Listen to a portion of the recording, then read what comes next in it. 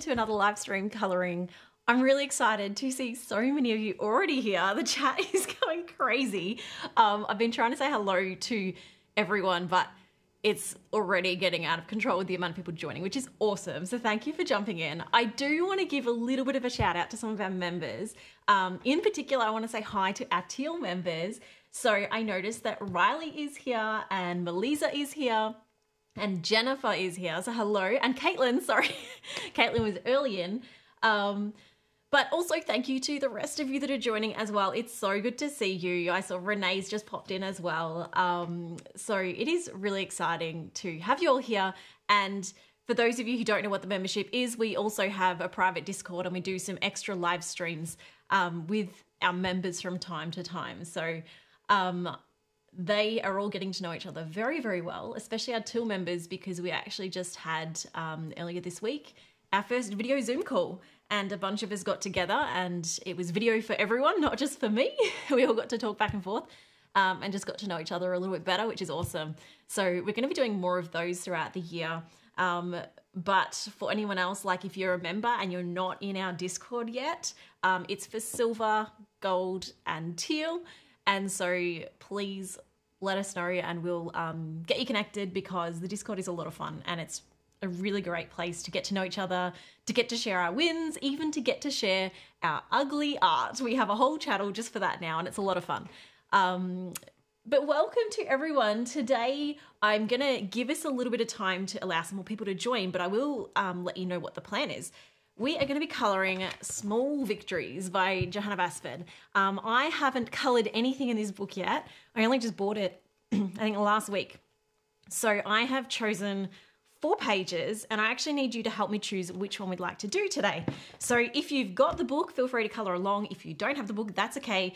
Um, grab another colouring page anyway so that you can do some of the techniques that we're going to be doing or just watch and chat. Also happy to just have that. So the pages that I would like you to help me choose between today, we have first this beautiful little bird in this wonderful circle. So this was one that I thought would be really fun to color. I also wanted to try and choose some things that I think we can actually complete in about two hours. So we're gonna see how we go with that. I tend to color slow, so hopefully we can make it happen. Um, then we have this one here with the water and basically like a really fancy houseboat. So this looks quite fun. Um, oh, Nic Nicolene's here as well. Good to see you. Let's have a look. The third one I've got is this ice cream with a house on top, which is quite fun. Um, so I thought this could be a great one with the different challenges of the glass here. And then you've got lots of different colors here. This might be a good one Oh, color palettes is a whole nother thing. We'll come to that after. Um, and then we've got this page. And the reason I thought this page could be cool is because we've got lots of little individual projects, so we can actually take a different approach on different ones. We've got some here that are glass jars. So We can work on some glass techniques. Um, we've got some clouds here with the sky. We've got lots that are just like flowers and simple things. And then we've also got a key here, which we could do a bit of a gold pattern on. So this is one I thought could offer a bit of variety, but I do need your help to vote. I thought to make it easier, I'm gonna put these here. I photocopied them just for the vote so we can see all four. And we're gonna put up a poll. So while we're still getting into this, please have your vote on which picture you would like us to work on today. So hopefully we can see all those. Let me know what your preference would be in the poll. Don't just comment because um, there's no way I can keep up with that. So when we get this poll up in a second, you can vote on that, and um, then we'll pick the winning one to have a go at today. So it's completely out of my control. Oh, here we go. Votes coming in quick. So while we do that, um, we I've already mentioned we had a great video call with the Teal members earlier in the week. Um, but just so that you know as well for today, we are going to be using the Faber-Castell Polychromos. I've got my big collection here beside me. It usually sits behind me in videos, but I've put it here today so that we can access all the colors. Um, but if you don't have Polychromos, that's okay, because the whole reason I've chosen the Polychromos is because they're they're not as um, easy to blend as something like a Prismacolor. And I know that I've been guilty of using Prismacolor in so many of my videos that people don't know how to translate it to other pencils because the Prismacolor are so much creamier. So I thought if we choose something more like the Polychromos, that's something that if you can blend with a polychromos, you can blend with anything essentially. So even if you have something like Crayola, you can still make this work. I'll be giving you the numbers as I go of the pencils, but if you don't have the same numbers, just try and find something close in your other pencils and it should work. You can also help each other out in the chat. If you're using a different pencil set that someone else is using, maybe you can kind of team up to work out what the colors are. Um, but we'll see how we go. So how is our poll going so far? Shane, you can keep me updated on that. Shane's here as well, everyone. Um, if you have or haven't met Shane before, he's my wonderful husband that sits behind the camera. Hi, everyone. So he's going to be watching the poll. How are we going so far? Do we have any obvious winners? Um, at the moment, it is D.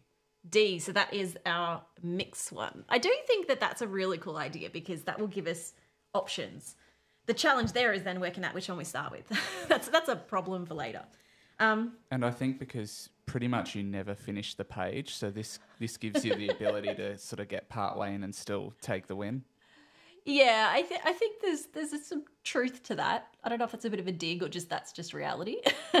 By the way, welcome Libby Brown to our silver membership. We will see you in Discord after this to keep hanging out with us. And actually, for those of you that are in the Discord, if you're coloring along, along today, I would love to see after this live posting what you ended up doing, whether it was the same page that I've done, same colors, different colors, or whether it was something completely different. I would love to see what you're working on. Doesn't even matter if it's finished, as you know. Um, while we are waiting for a few more votes and a few more people to come on, I want to share with you what I've been working on. So, the last few months, actually, I have been relearning how to draw. My members already know this. They've been seeing all the sneak peeks behind the scenes. They've even had a tour of the sketchbook already. but later this week, if all goes to plan, we will be releasing our next video, and it is all about me relearning how to draw over like it was over 90 days, but I did about 50 days of drawing in that because life gets in the way, and that's just how things work out. But I tried to draw as often as I could. I tried to draw every second day at the most, or every day if I could. Um, and I've been trying to rebuild my skills in areas that I'm not confident in, in areas like character design that I usually avoid. I'm definitely that person who's guilty of putting hands behind the back so I don't have to draw them. so I decided to really venture out and challenge myself. It was a very surprising journey, and I really hope that you find the video this week helpful. Um, I got to speak to Proko, who is an amazing artist and teacher here on YouTube, and he also has a website full of resources to help you learn as well. I got to speak to Zephyr, um, James, who has also been on a similar journey of learning to draw later in life. And so he we talk about a lot of the challenges and the mindset issues that we have. And I got to go visit Jazza again, and we actually spent a couple of hours just sitting and drawing together. And that for me was actually by far the scariest of everything. Not because Jazz is scary, Jazz is wonderful, but because I was really put out of my comfort zone in what I was drawing. So that is a video I think that will be really worth watching, whether you're someone who wants to learn to draw or has been through that yourself, or whether you're someone who is trying to take on other creative things and feels a bit out of your comfort zone. It's a really good way to watch someone else go through this. And I tried to show as much of it as I can on camera of the experience of doing everything for the first time. It was it was pretty intense. But in that process, I've also been working on my new coloring book. So the new coloring book is something that I hinted at a little bit last year, and it's something that I've been wanting to do for a while. And a lot of the learning to draw came from me wanting to make sure this coloring book was better than anything I've ever done. And so I've been working on that in the meantime, and we're actually we've sent off for a sample so that we can see what the paper's like. We've got the cover designed. Again, the members have an early look. I think actually it was just the teal members have already seen the cover and the new title, and I'm not ready to release that publicly yet. So that one's pretty top secret for now. Um, but I do have a couple of pages that I thought I should show you while we're waiting on this vote. So um, this is one of my new favorite ones that I've done. This one here, sorry, it's all crowded now. Let's push these out of the way a bit. So this is one of the new pages that I've worked on. And so I'm really leaning into this concept of like, ah, kind of like a hidden, overgrown forest nature, like out in the wild, but everything's just kind of ta- the wild has kind of taken over, I guess. So I have got um, this one here is one of my favorites of the new book. I've also got this one here. So these ones are finished and ready. They're obviously not going to be on this paper, but um, designs that are going to be in the new book. This is another one. It's a beautiful little birdhouse. Um, again, it's got lots of moss growing and stuff like that.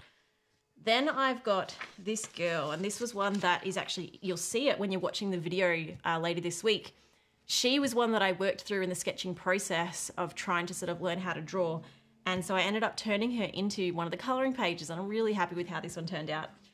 And lucky last early sneak preview is a cute squirrel because if you've uh, watched more of my behind the scenes stuff, you'll know that when I last went to America, I maybe had a little obsession with the squirrels because we don't get squirrels in Australia. And I think they're adorable. So I have created this gorgeous little, sorry, I'm overplaying my own page. I think it's gorgeous because it's a squirrel. um, but this page is actually already in our member vault. So if you're someone who is in our gold or teal membership, they've already got access to this. Um, if you're one of those people and you don't, let us know and we'll get you connected. But we do have a coloring book vault on our website that's just for members that has a few early pages. So this one's in there, and we're going to be putting more pages over the next month or so that they can get some early access.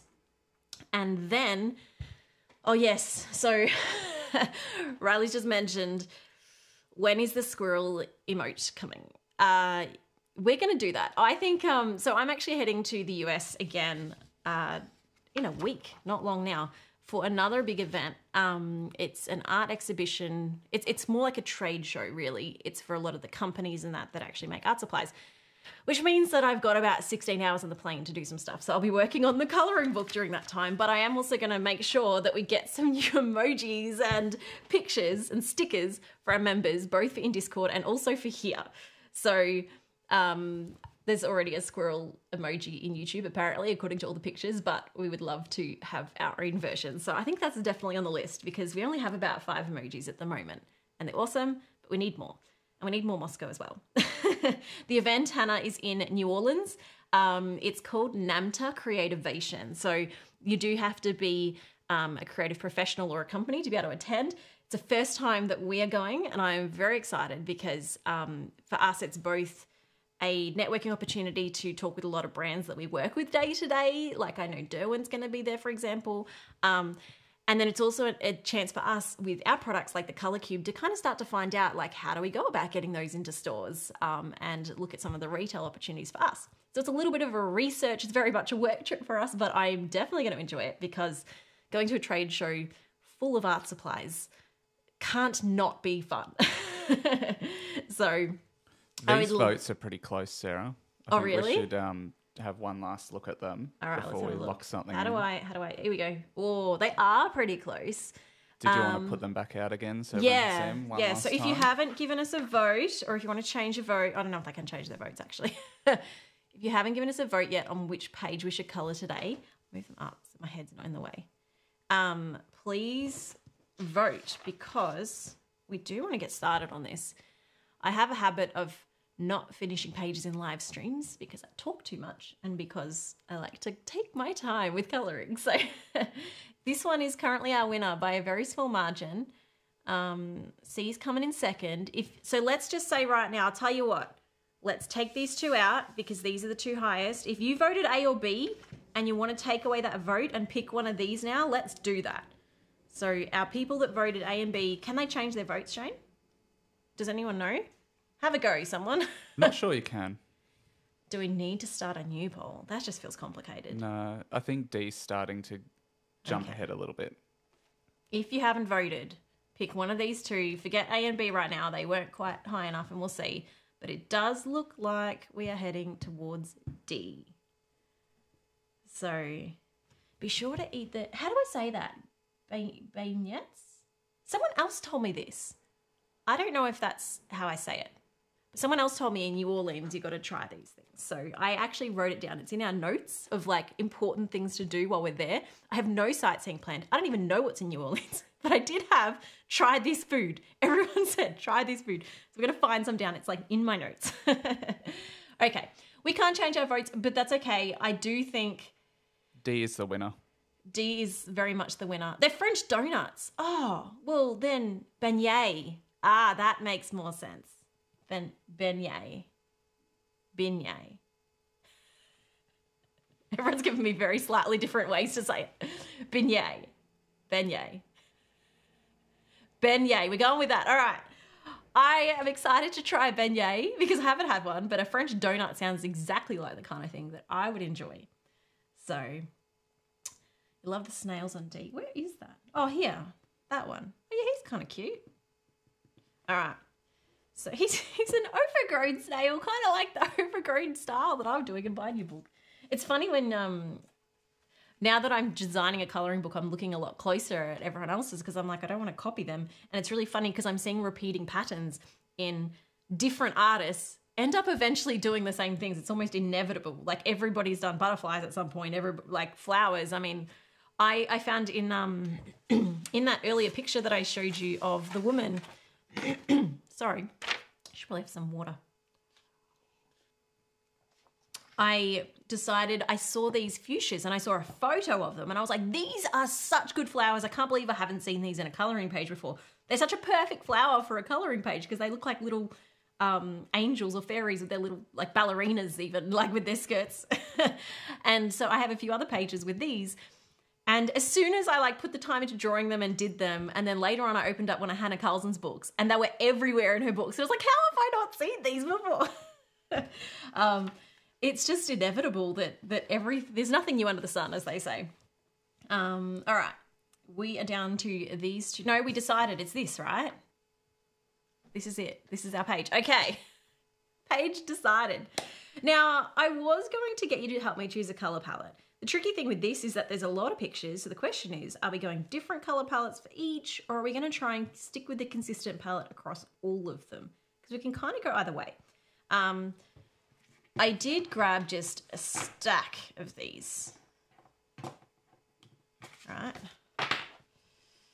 These are some of my my favorite sort of sets in a quick glance that I found. I am not even putting them on the screen. Look at that.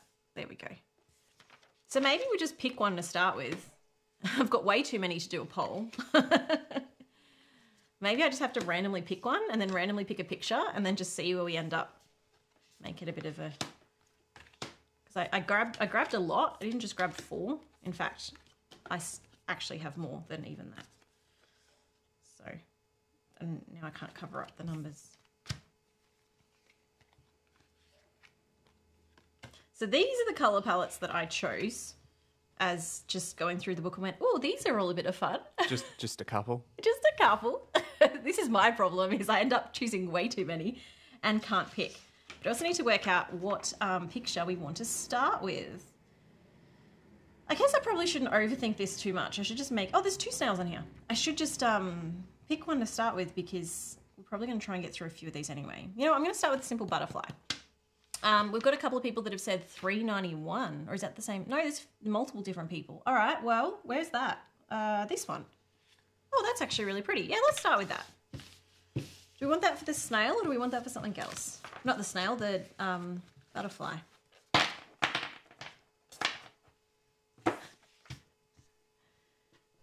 Some funny stories happening in the chat.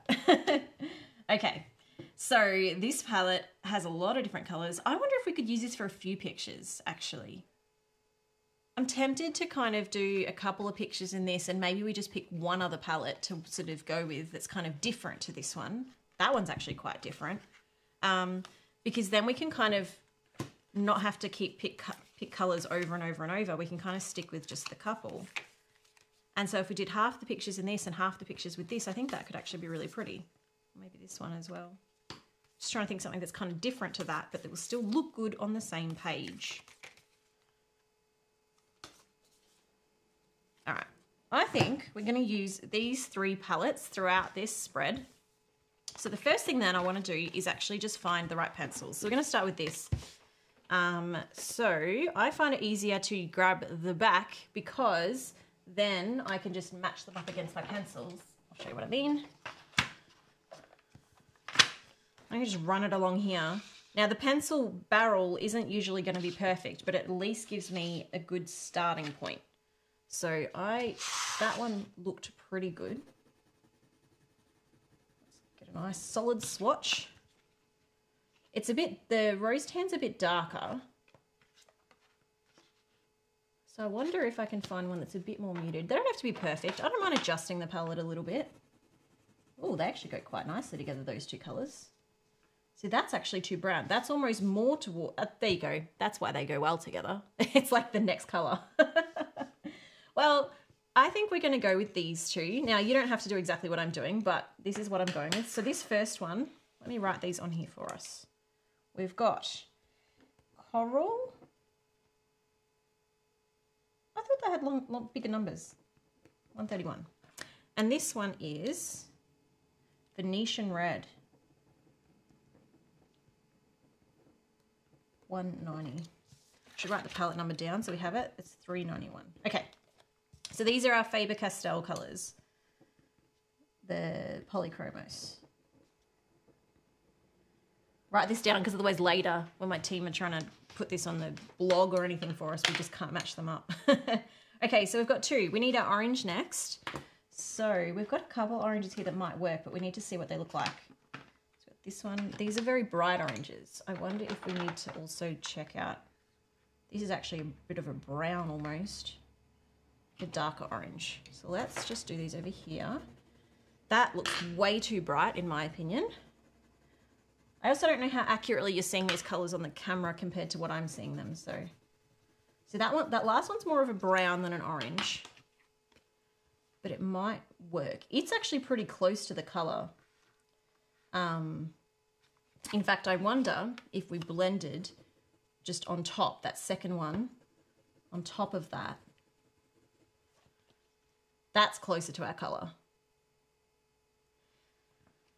So, just seeing if there's any other options. It's getting pretty dark now. Oh, that's a pretty good, that's actually a lot more similar to the dark version. So we have to make a choice. And what I'm thinking is we can always bring in a couple of these colors. I actually do like these two. They're actually more brown than orange, but I'd like to see how they look when I bring them together with all these other colors. So I'm going to put them both down. If you prefer the orange, I'll put that down as well because we can always use this to just subtly change the color because it's quite bright on its own. So I'll list all three and then we might find in some pictures it works better to do this one and in other pictures it works better to do one of the others. They're all kind of going to give us the same final look with the overall concept of the palette. So it doesn't have to be perfect. That's really the point here. Which one was which? That was the that one. Sanguine, sanguine. 188. And this one is 186, terracotta. If you don't have these pencils, please just bet with me.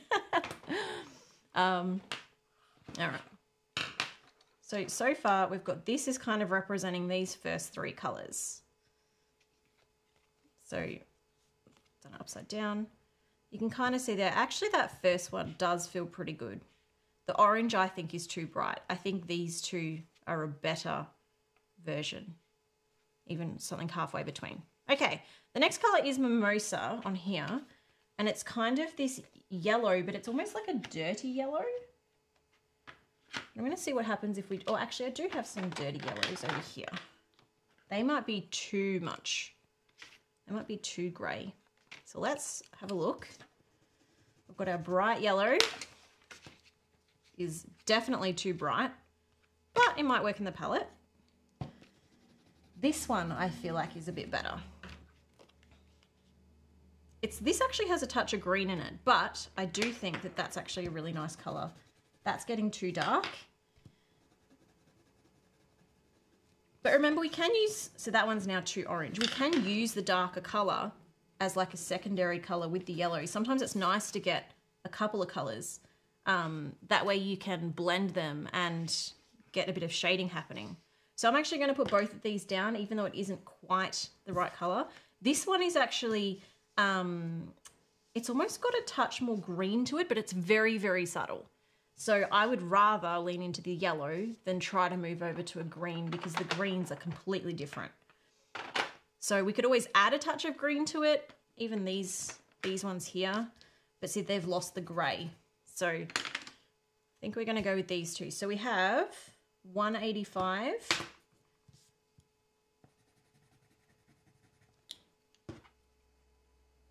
That's Naples yellow.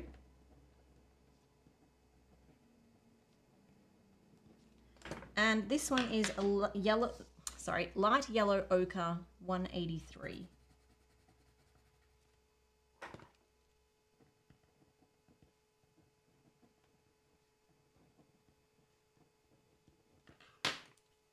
I have totally lost track of the chat at this point, Shane. So if anyone says anything important, feel free to step in. All right, we need to move to our greens and teals, which is only a couple here. Otherwise, I need to switch my pencils. Put these back so we don't get them mixed up.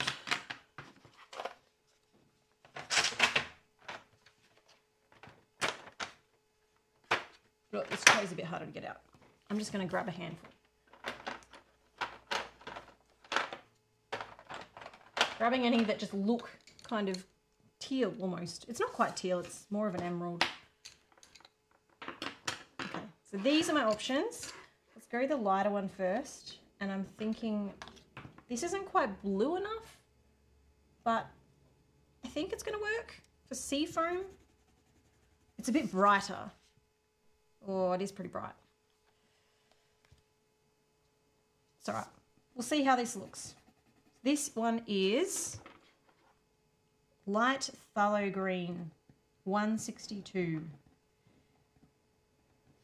Oh, there's a, that's a crazy word to spell. What's with HTH? 162. and then for an emerald colour, this one looks like it's going to be pretty close and it goes really well with that lighter color. So this is a bit more green, but I'm tempted to just, it's almost more that. I kind of want to include both, I think, because this one's a bit more accurate, but this one I think looks nice with that.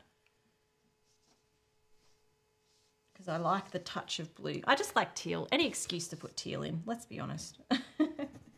All right. So these two colors we have are Chrome oxide green fire. That's a lot of, lot of words. Um, 276. Chrome oxide, whoops, green fiery. Couldn't have picked a shorter name. And then this one is hooker's green. To be clear, we are talking about a hooker table. billiards. Billiards green is what they should really call it. okay, so there's a bit of a change, but, and I've done this annoyingly upside down, haven't I? But you can see how this selection of colours, despite changing a few colours, has the right vibe for this palette. And that's really what we go for. We don't need them to be exact or like perfect Pantone references.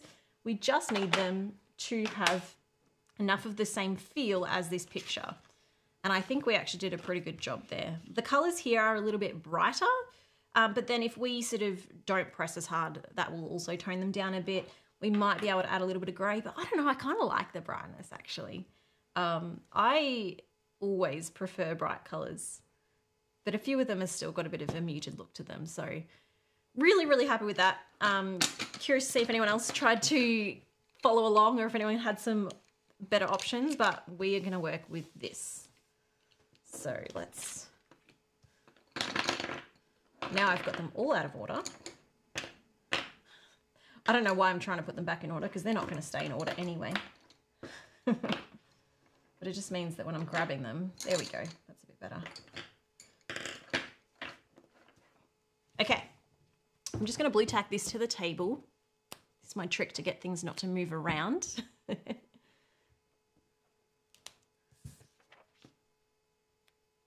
Did I see someone mention a birthday?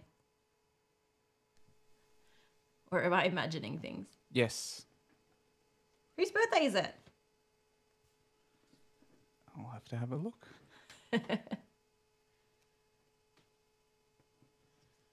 The only time this isn't good doing blue tack on the back is um actually Shane can I have a top It's camera? Kay's birthday. Happy birthday, Kay. Happy birthday. All right. I do this so that the page stays in the same spot. This is not something you need to do. This is something that I do for the benefit of the camera. it means that as I'm coloring, I don't end up off the screen. And it means that um, if we ever want to like speed up the footage later, it's not like, oh, why am I sticking this down? I'm coloring in the book. it's not going like this when we speed it up time lapse. So that's why we do this. But I do need to actually. Blue tacking your book down is a little more complicated. It takes a lot more blue tack. Alan has asked you where the colour palette cards are from. Well, this is where the color palette cards are from. They are from the Color Cube, um, which Shane will pop a link in the description for you. This is something I've made, um, so it's to help you get lots of ideas. There's 250 cards in a box, and there are two boxes. A lot of the other people watching have already got one of these. Um, it's something that can help you choose colors that work well together. So this is actually a good page because it happens to be where the stitch is. So it's going to stay open a lot easier. But I still am going to blue tack it down, but I'm going to blue tack on the whole cover. Who's spamming all the emojis? I love it.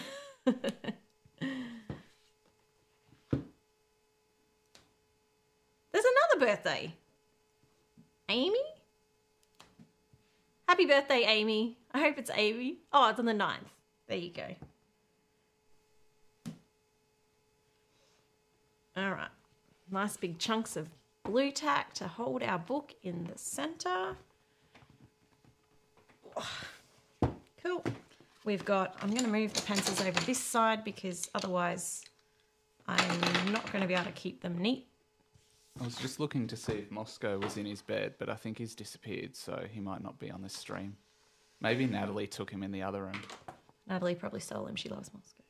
There's a there is a poster on her wall that is an award for being the best cat sitter.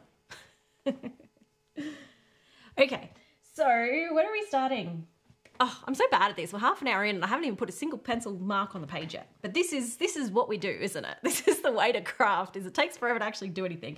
All right, we're going to jump in because if we don't, we're never going to get there. I like to start with whatever I think is going to be the easiest thing to start with. And in this case, if we're doing the butterfly, I would say it's the leaves. I am just grabbing my sharpener. Um, this is not the sharpener that I use for most of my other pencils, by the way. This one, when you do a video comparing every sharpener ever, you end up with a lot of sharpeners.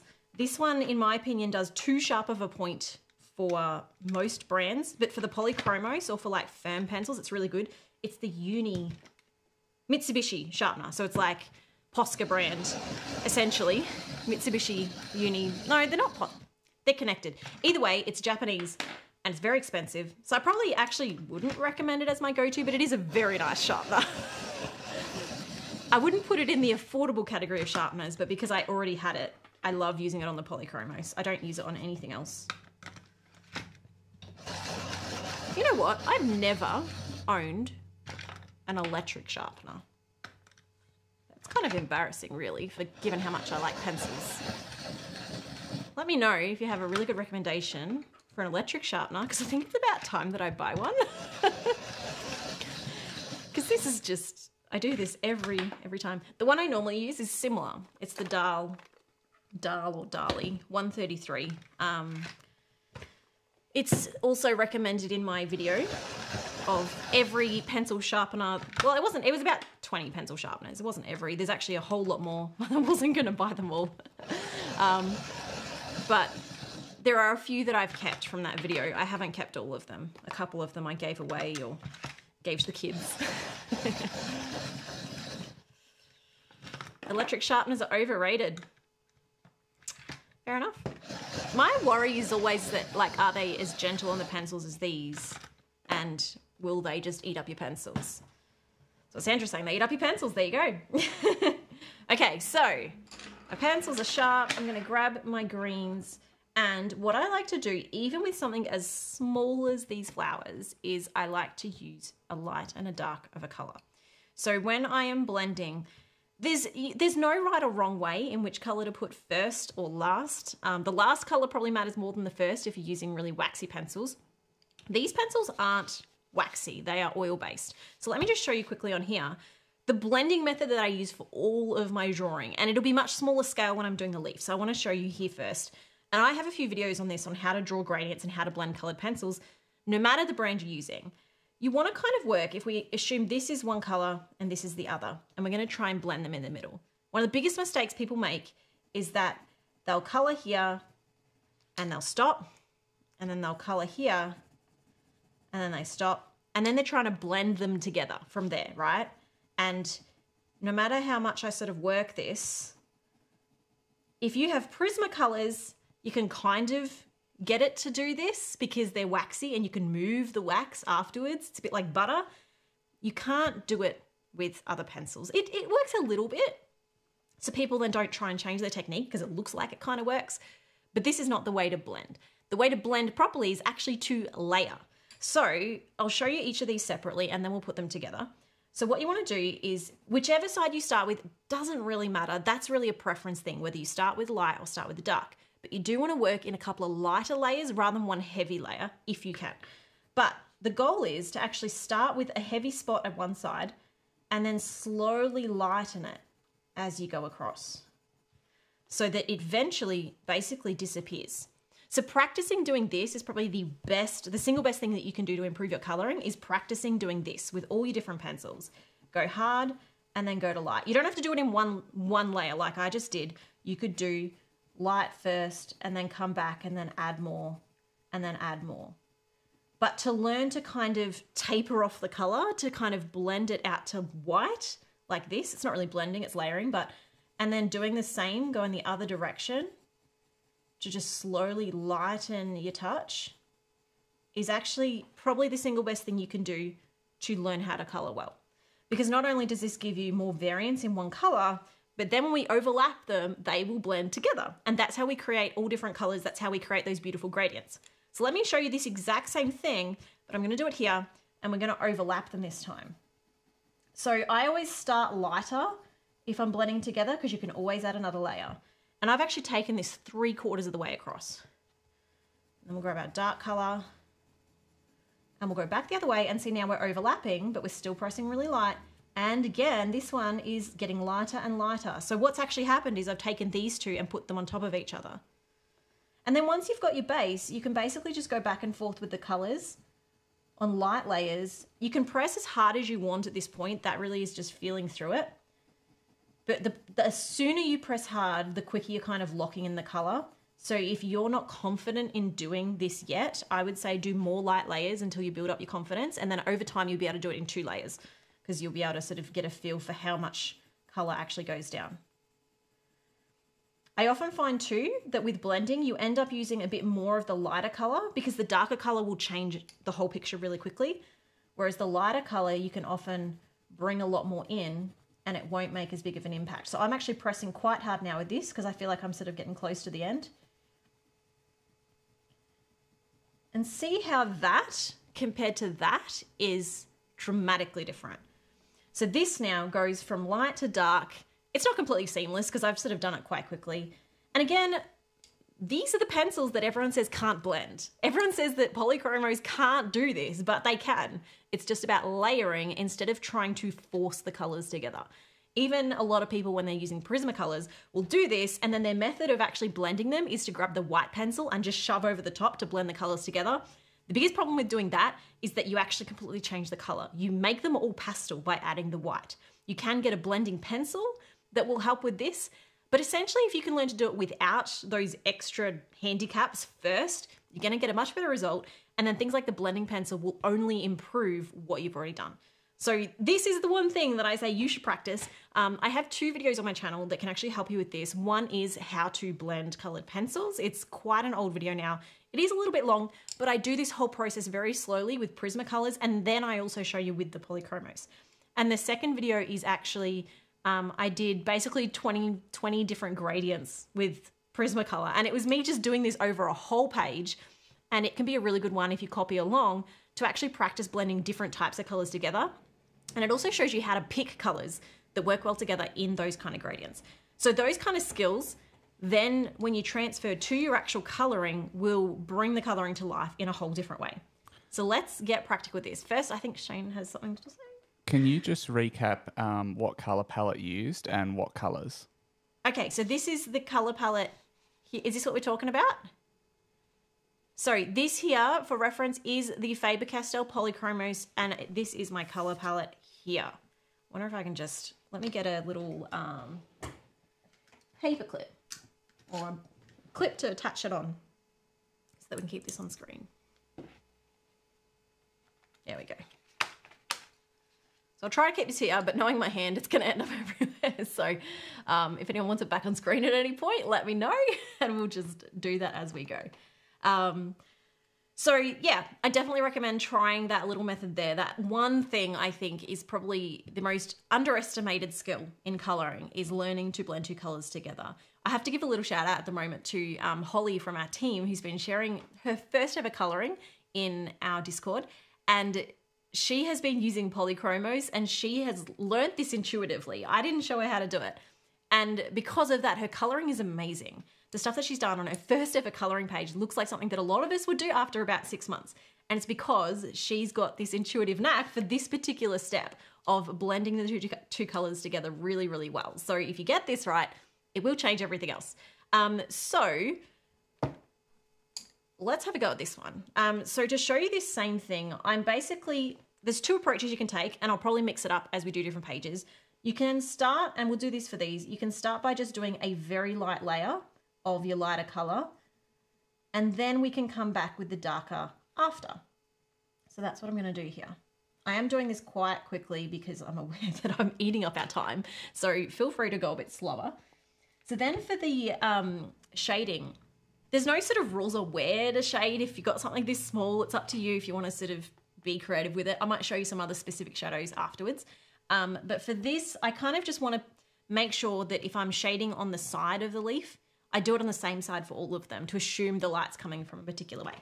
If the light's coming straight from the top, then we could shade around the edges. For this case, and probably for most of this page, just for consistency, I'm going to pretend that my light source is up here. So here we go. This is our, this is our sun.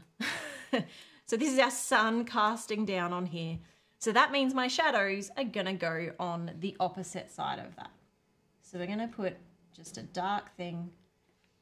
And as much as it's very, very small and hard to tell, I'm basically doing a very mini, mini version of this, where the edge furthest away is the harshest.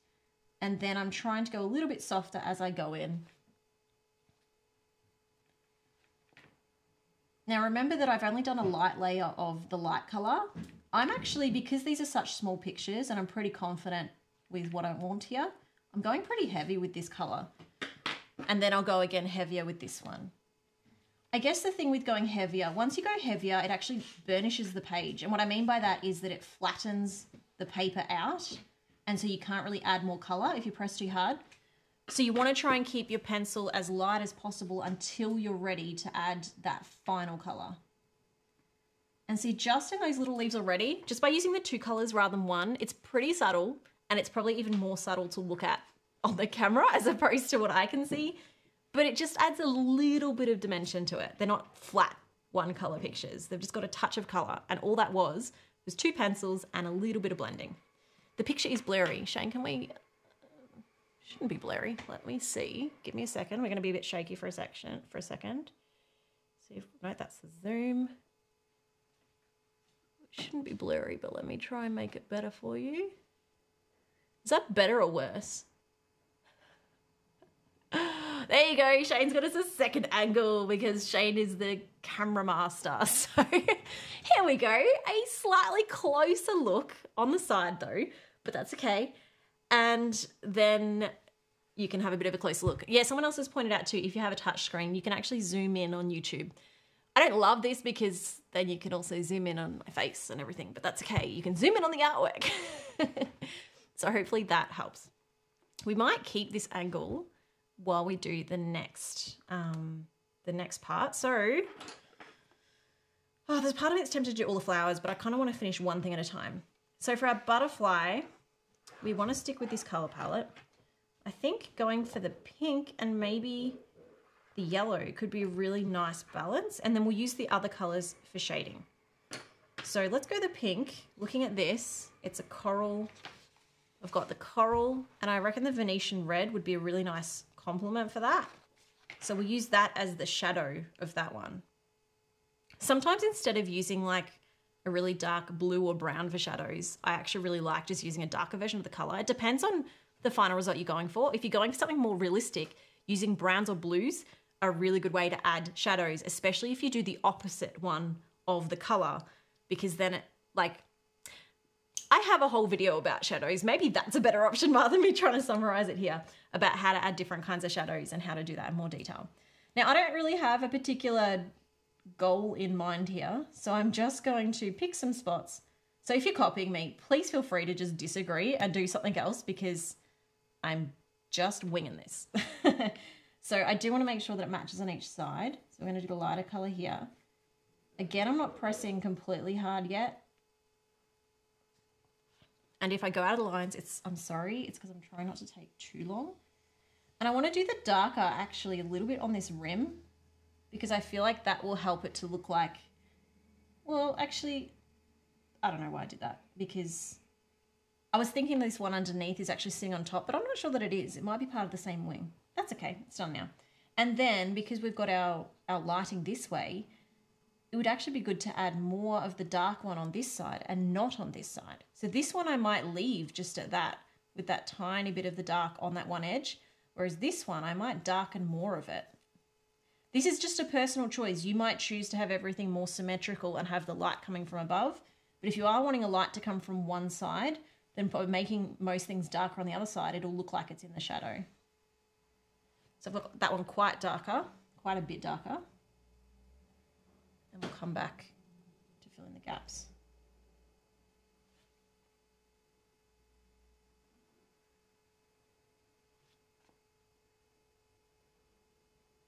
I actually worry too much if I go a little bit out of the lines because they do get coloured by, they do get covered by other colours, so it doesn't bother me too much. Um, now, there's actually not a whole lot of difference. Now that I've blended those colours, you can hardly see the shading because I think the colours are so similar. So I'll just come back with the darker one again. But what I might do when we're finished this picture, whoops, is bring in a darker shadow, like I was saying, even, well, no, I'll do it now. I'm going to grab, um, what's a really dark? I'm just trying to think, would this palette, it, it's, it's a very warm palette. So, and this is me just brainstorming through my own head. I think adding like a blue as a shading color might be a bit too intense for this. However, you can see in the photo, this is where I like to look at some of their shadows in the photo. There is actually almost a bit of a blue hint to some of this because it's coming from the environment. We could potentially even use a really dark green.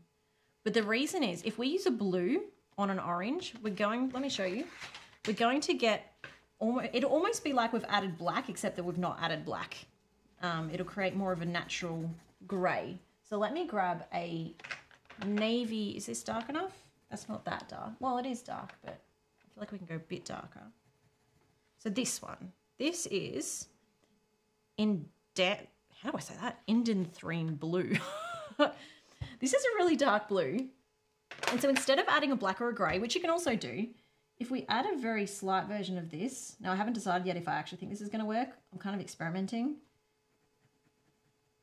See how on the brown it actually kind of goes grey anyway. That's because they're they're opposite ends of the colour wheel, so they sort of make a grey. It's way more noticeable if you do this with paints rather than with pencils. But if you are very careful in layering them, it can make a very interesting shadow. On the pink, it's a bit more just obvious that it's that colour. So I'm not sure if that's too intense for the shading. Otherwise, I like to grab just like a middle grey and try that. But see how the grey instantly makes the whole thing very, very grey. Let me just bring back. This is what I do if I'm unsure about something, is I just grab a scrap piece of paper and just test little sections like this. See, the grey is very grey. And it would be the same if we added black. The blue's pretty strong though. But this one, this is dark indigo. Maybe this is better. Thank you for the coffee, Natalie. The dark indigo might be better because it's not quite black. It's kind of like it's got a little bit of blue to it, but it'll be a little bit softer. I feel like I'm just talking gibberish at this point. I'm really just trying to um, puzzle this out in my own head. Okay. If we want a heavier shadow, I feel like this is the option to go for. It's a dark indigo. And if we use it lightly, we'll just add a slight shadow. If we use it heavily, then we get basically dark indigo. So I'm going to add this to our color palette just for the purpose of helping make our shadow, give our shadows a bit more oomph because the pictures are so small that if we don't use a darker color, you just won't see the shading, which again is a preference. You might actually just like it like that. But I kind of want to. I, I like having strong shadows. I find it more interesting. Just going to sharpen this. And while I do that, I'm going to have a look to see who else is joining. It's muddy grey with the browner colour. Yeah, I agree. All right. So this we're going to be really subtle with because it will overpower the image very, very quickly. so again, if you're not feeling brave, just skip this step basically. But I'm just doing a very, very light layer to try and make those shadows a bit stronger.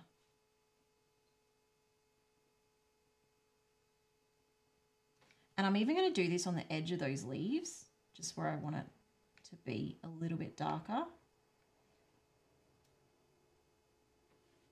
Just makes the shadow a little bit more obvious.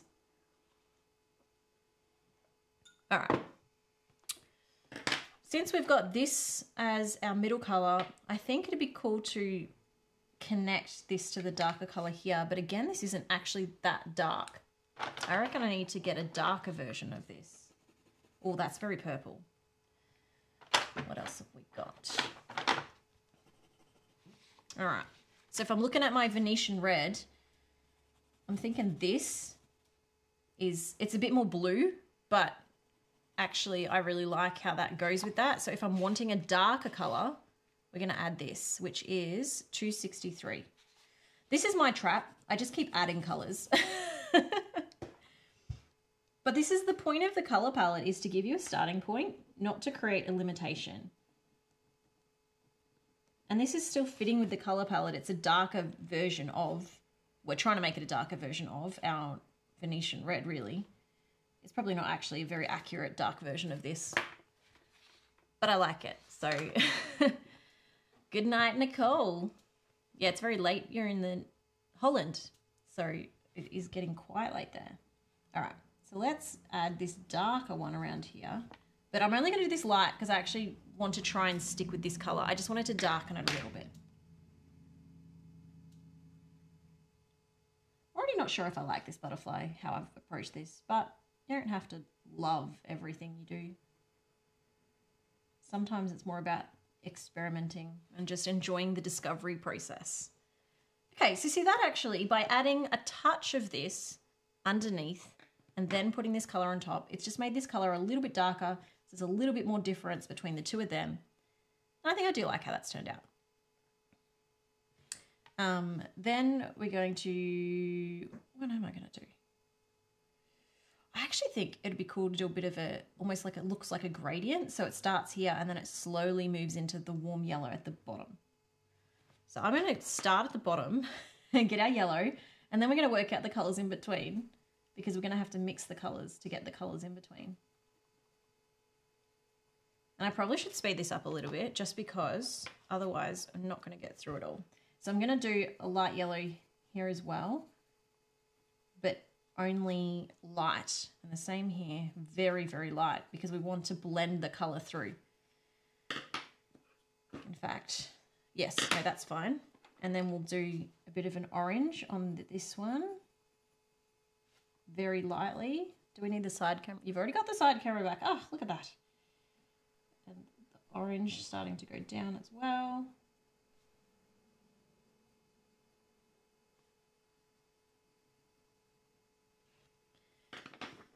And then it's kind of that pinky color. So we'll bring the pinky color back through here. I'm just doing this light and then we'll come back and work out if there's any extra shading we want to do. See, because I'm working in light layers, now I've kind of created a gradient between these two colors by just sort of um, adding more of one at one end and less at the other.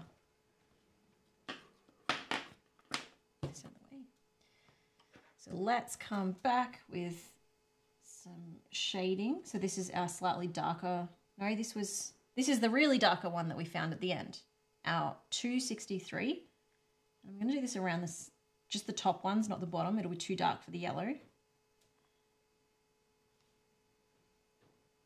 I've totally thrown my angle out the window at this point. I've changed my mind. I'm doing it from above. The top is higher than the bit underneath, so breaking my own rules. Isn't that naughty? All right, but we will do it a bit darker on this side, I think, to create that sense of a shadow. It's just, it feels like it's, uh, yeah, I don't know. I'm not convinced I made the right call. We're going to use the brown on this orange to just adjust the color a bit.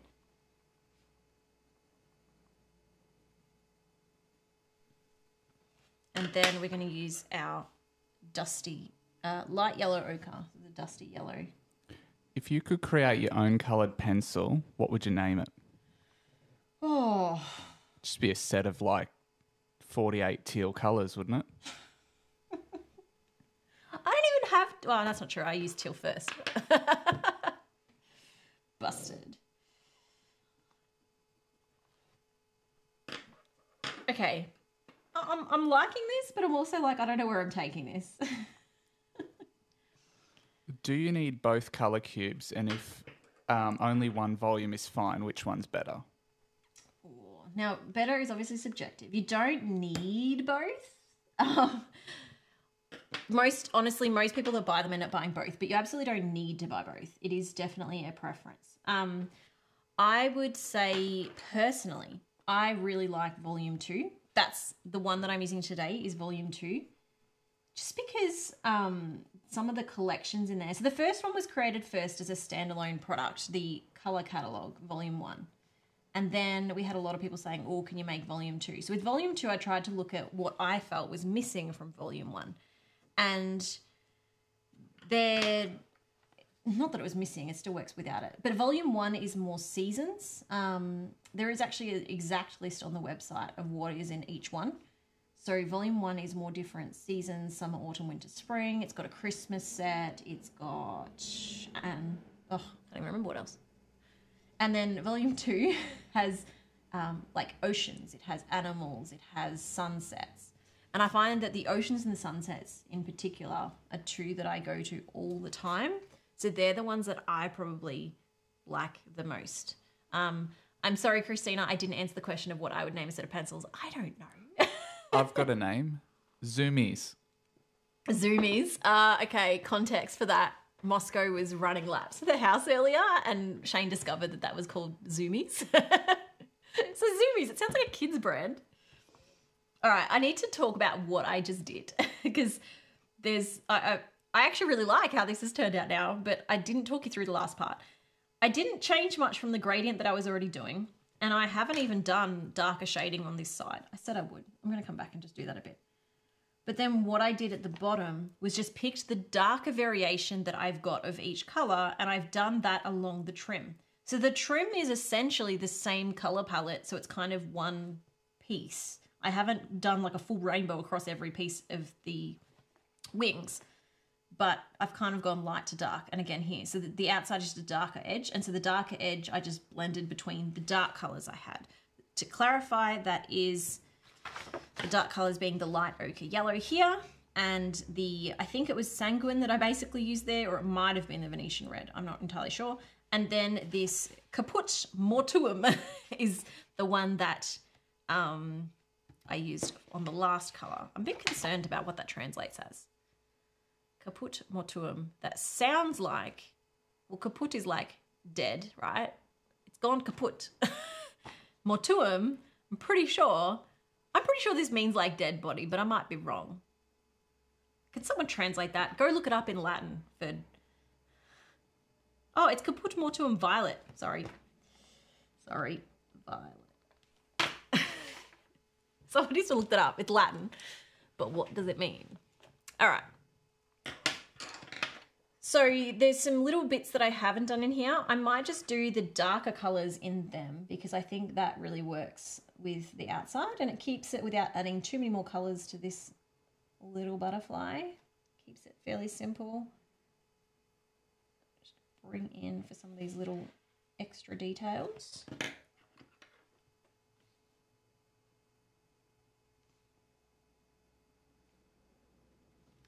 Actually pretty happy with how it's turned out.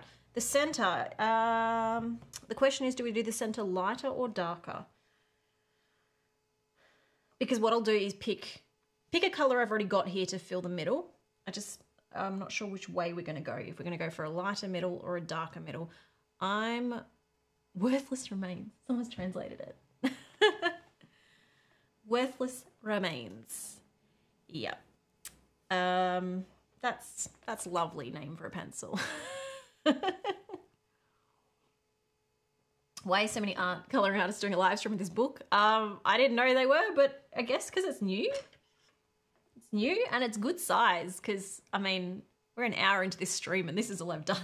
it wouldn't have been a good idea to um, pick a big page of a big coloring book. But look, we will do some of that kind of stuff in the future. But if you watched any of my past live streams, I have a habit of like starting them and then never, ever, ever coming back to finish the page. So You should do one of those like 24 hour straight streams and you get through at least six of them. Shane's being mean. All right, what I've decided is I've gone for the darker color, but even darker again. I was thinking I- if this is dark, I don't know if that's the right choice. You might do opposite, but I have done darker here because I felt like that would bring more that the the wings feel like they're brightening it at all. So, um, here we go.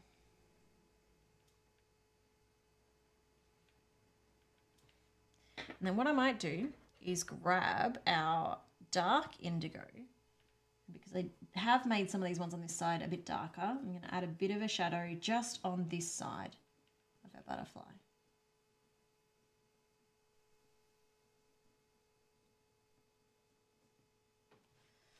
Right, I think our butterfly. Oh, hang on, I've missed some little spots. I think my butterfly's done. Did anyone else end up colouring this with me? I'm curious. Looks like a moth. You're right, it is a moth.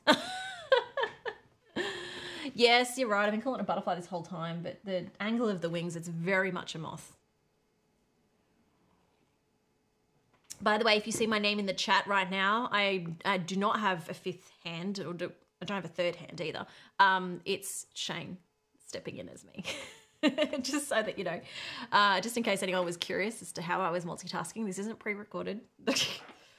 I mean, I think it's pretty clear it's not pre-recorded. I would have been a lot more um, would have been better spoken and better organized if it was pre-recorded. Probably also less interactive. Probably also less interactive. Yes. Um, so the question is, do we want a little background on the moth, or are we just gonna just leave it at that? Mm, we move on, maybe. I think we're gonna move on. Okay, so I want to teach you some different techniques on this page because it's cool to do so. Um, want to pick another one. I know. Why don't we do the hot air balloon and I'll teach. Oh, actually, one of the mush. I want to show you how to make something glow. is where I'm getting at. And the hot air balloon could be cool for glowing, or oh, this little bottle might be tricky to. We could pretend that this is glowing inside. Um, I'm just trying to pick which picture would be better to glow. What do we think? Glowing or glass? I've, there's some glass items here that we could work on. Um, I think we're going to do the bottle as a glowing bottle. So I'm not going to entirely teach you how to color glass. Oh, my fingers are dirty. Um, how to color glass at this point. We're going to work on how to make it glow. So the first thing I think I need is actually to define a bit of a background. Um, so I might just draw with a grey lead. Very light background. Um, what I might do, We could do it as a circle or we could do it as a bit more of a random shape. Let's just try a circle. See if I can like a big big-ish without crossing over everything else. It's gonna have to hang out the circle. Otherwise the circle will have to be too big. Alright. Then what I might do is grab my own pen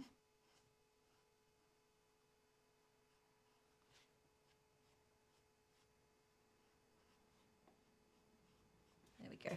So my circle, and I'm just going to grab a fine liner to actually draw it so that it looks like part of the page. I didn't prepare a fine liner earlier. I probably should have.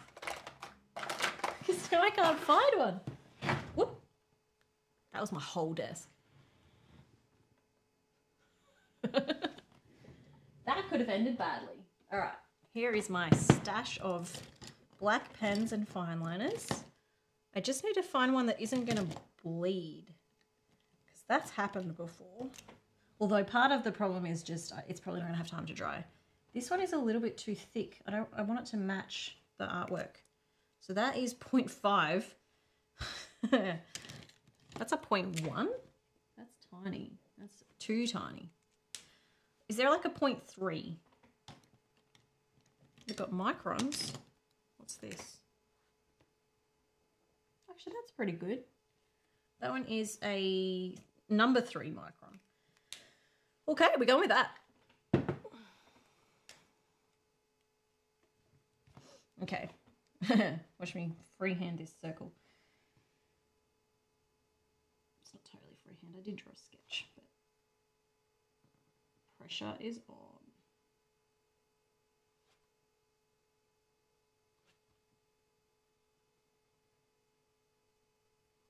There we go. Nailed it. and somewhere here I have my eraser. Just get rid of those lines. There we go. A special edition book that has a circle.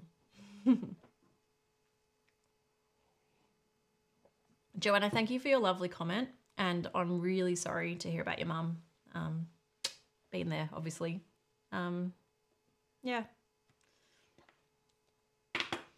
I'm not seeing a lot of the comments, but I saw that one.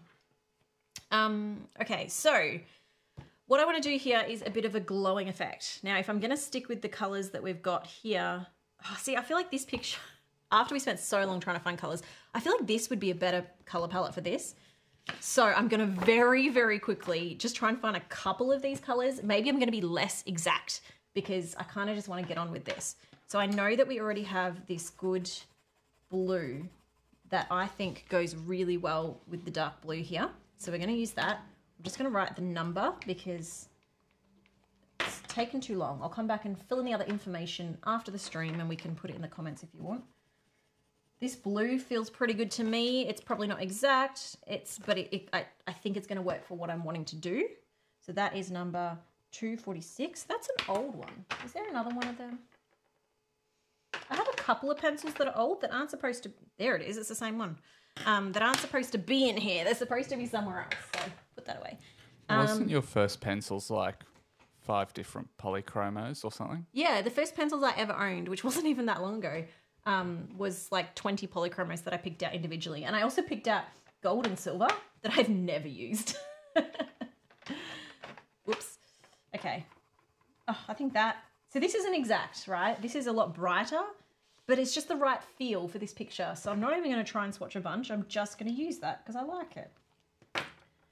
But I don't even think I'm going to use that in this particular one. I'm thinking the glowing, I want to do more. Oh, actually, no, I do. I want to show you something even cooler. Okay. Just making it up as I'm going along. That's how we roll. Okay, so I want another darker... Is there a darker version of that? There's no script today. No script today. Okay. So what I'm going to do is is actually going to bring in... This is probably a bit too bright, but I'm going to bring in a purple because if you mix this blue and this magenta, you're going to get a purpley color. And I feel like I want to try and put them both in the background just to make this ultra complicated unnecessarily, as I do. I don't know if this is the right purple though. I just want to find. Jennifer's asked if you ever erase. Uh, not colors. Colors, I don't. This is kind of. It's raspberry, but it's a dark, dark color. So I think this one's actually pretty good for that. That's a burnt carmine. 193. I'm realizing a lot of these cards too, like the raspberry on the color catalog is obviously a lot brighter because screens are just different to print. So a raspberry pencil would probably end up being a lot lighter than this. Cajun Hawk works. has commented and said, I love how the ideas just hit you. They don't stop. That's my problem. okay, so we are doing this light color, even though it's not in my palette, because it's a lighter version of this, and I need some light and dark if we're going to do a uh, glow. I'm definitely overcomplicating this glow. I should really just stick to like two colors. Instead, I've gone for like a blend of a few. Um, I do need a lighter blue. Uh, what do we got? I've got to decide, am I going for a more... So that's quite a different blue, but it's kind of closer to the others. Oh, that's better. What's this one? This is cobalt blue greenish. It's 144. I'll do it up here.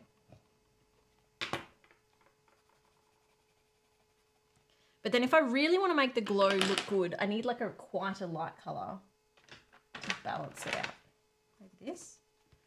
Yeah, that one. Okay. So 152. Okay.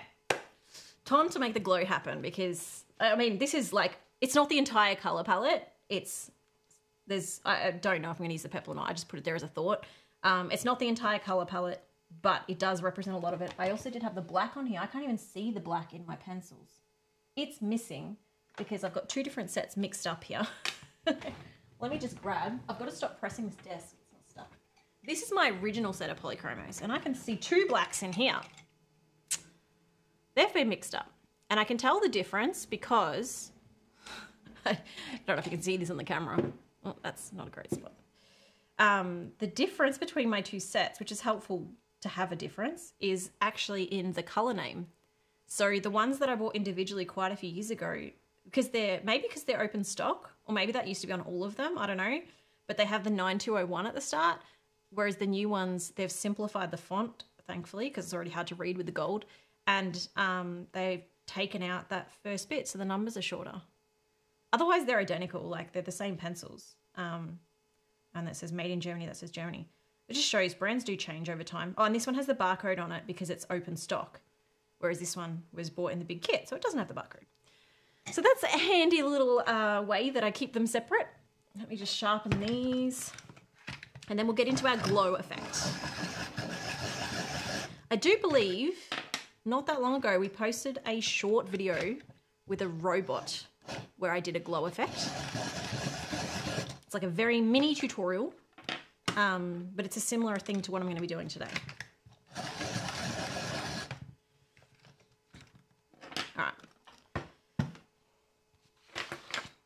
So again, you can start with light or dark. The thing with glowing is that you want to make sure you protect the white in the middle because if it's going to really glow, the lightest color is really important to get right. So I'm going to leave the middle of this for now and we're just going to work on the background. And what I'm going to do is use the lightest color very, very lightly to kind of frame around the object. The lighter, the better here. And it's very hard to tell, but when I am coloring, especially when I'm coloring this small, I'm actually not coloring like this. I'm actually coloring like this, but it's so grouped together. See how it ends up. I don't know how well you can see that. It's actually made up a lot of circles, but it means you don't end up with harsh edges. It's a good thing to practice. Um, I mean, if you're coloring light enough, it shouldn't matter if you're doing straight lines because you can still, it still kind of all blends together. But then if you are layering colors, you'll start to see lines show up. Whereas if you're always working in a very subtle circular motion, you're less likely to have those obvious lines in your work at the end. Just a little extra tip for you. So just working around here. Doesn't mean doing big circles. It just means that like every line, just add a little bit of a, um, a flow to it. It's also more enjoyable, I find. when you get used to that because you're not changing your motion so quick. Your motion's a bit more subtle. We've got a very, very light version of the color around this. Now, the bigger you make the light area, the more it's gonna glow.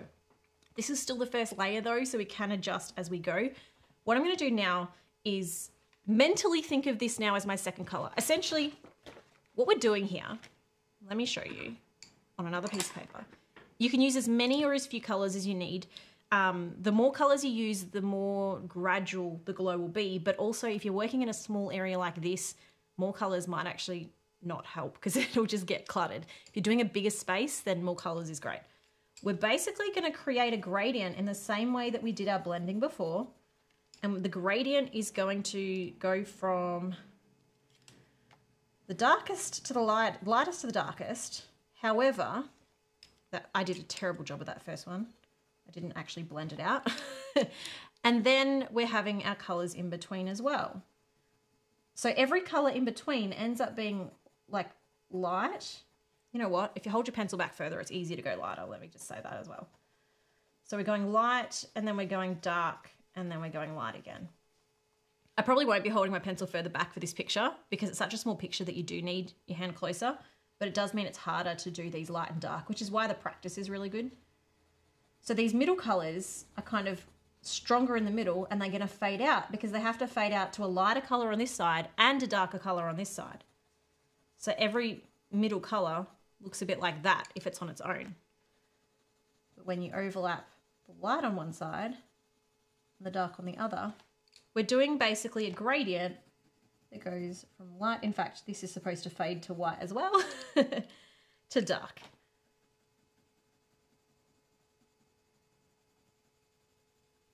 And the dark is basically the background, whereas the light is the light, the, the glowing. So this is essentially what we're doing. There's the writing from the other side is coming through. That's funny. Um, we're essentially creating a gradient, but by doing the gradient around an object where the object is here, this will then look like the object is glowing. And you can just adjust by bringing the dark in more and the light out more to sort of change the look. I probably actually need a lighter color looking at this. It'll still look like it's glowing, but not as obviously. And that will change the size of the glow depending on how much you bring that dark in. And the middle colors are really just to help it be a smooth gradient between. How are we following along? I've lost my chat. Um, so this here is really what we're doing. Whenever you create a glowing effect, you're really going from light to dark. And the light is the part that's glowing and you're going out to whatever the background scene is. It might not even be the same color. And that's the gradient that we're doing, but we're doing it outwards. Um, I'm not sure that the polychromos white, which is over here, works that effectively. It might, actually it does a little bit. It can help us just at that light end to actually make that light end a little bit lighter again. Um, probably add that towards the end. If you add white first, it isn't going to do a whole lot. If you add it later, it will lighten the color just to create that super glow at the start. So bringing that to our page,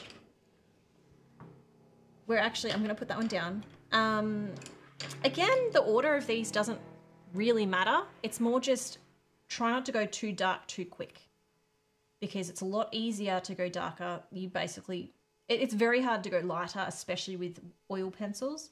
Wax pencils, you can go lighter easier. So like with Prismacolor, this is a much easier process.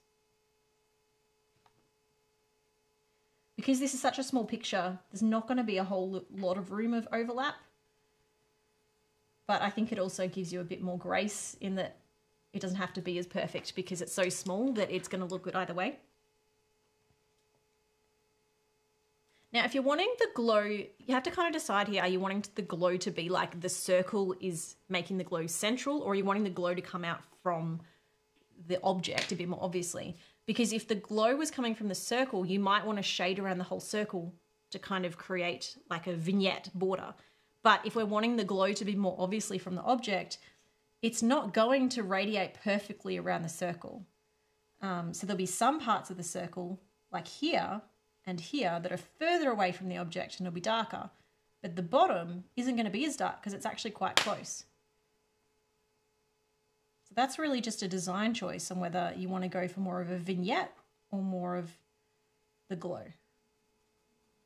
There's no right or wrong. It's all choice. Blue tacked my piece of paper to my coffee cup.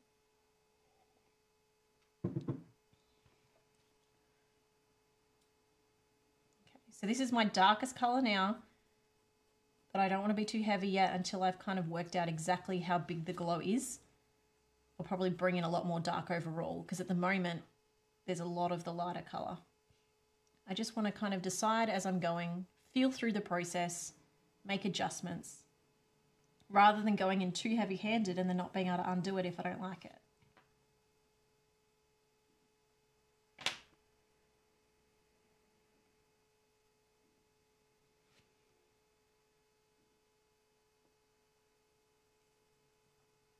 So already it's starting to look very, a little bit like it's glowing, even though we haven't got anywhere near finishing.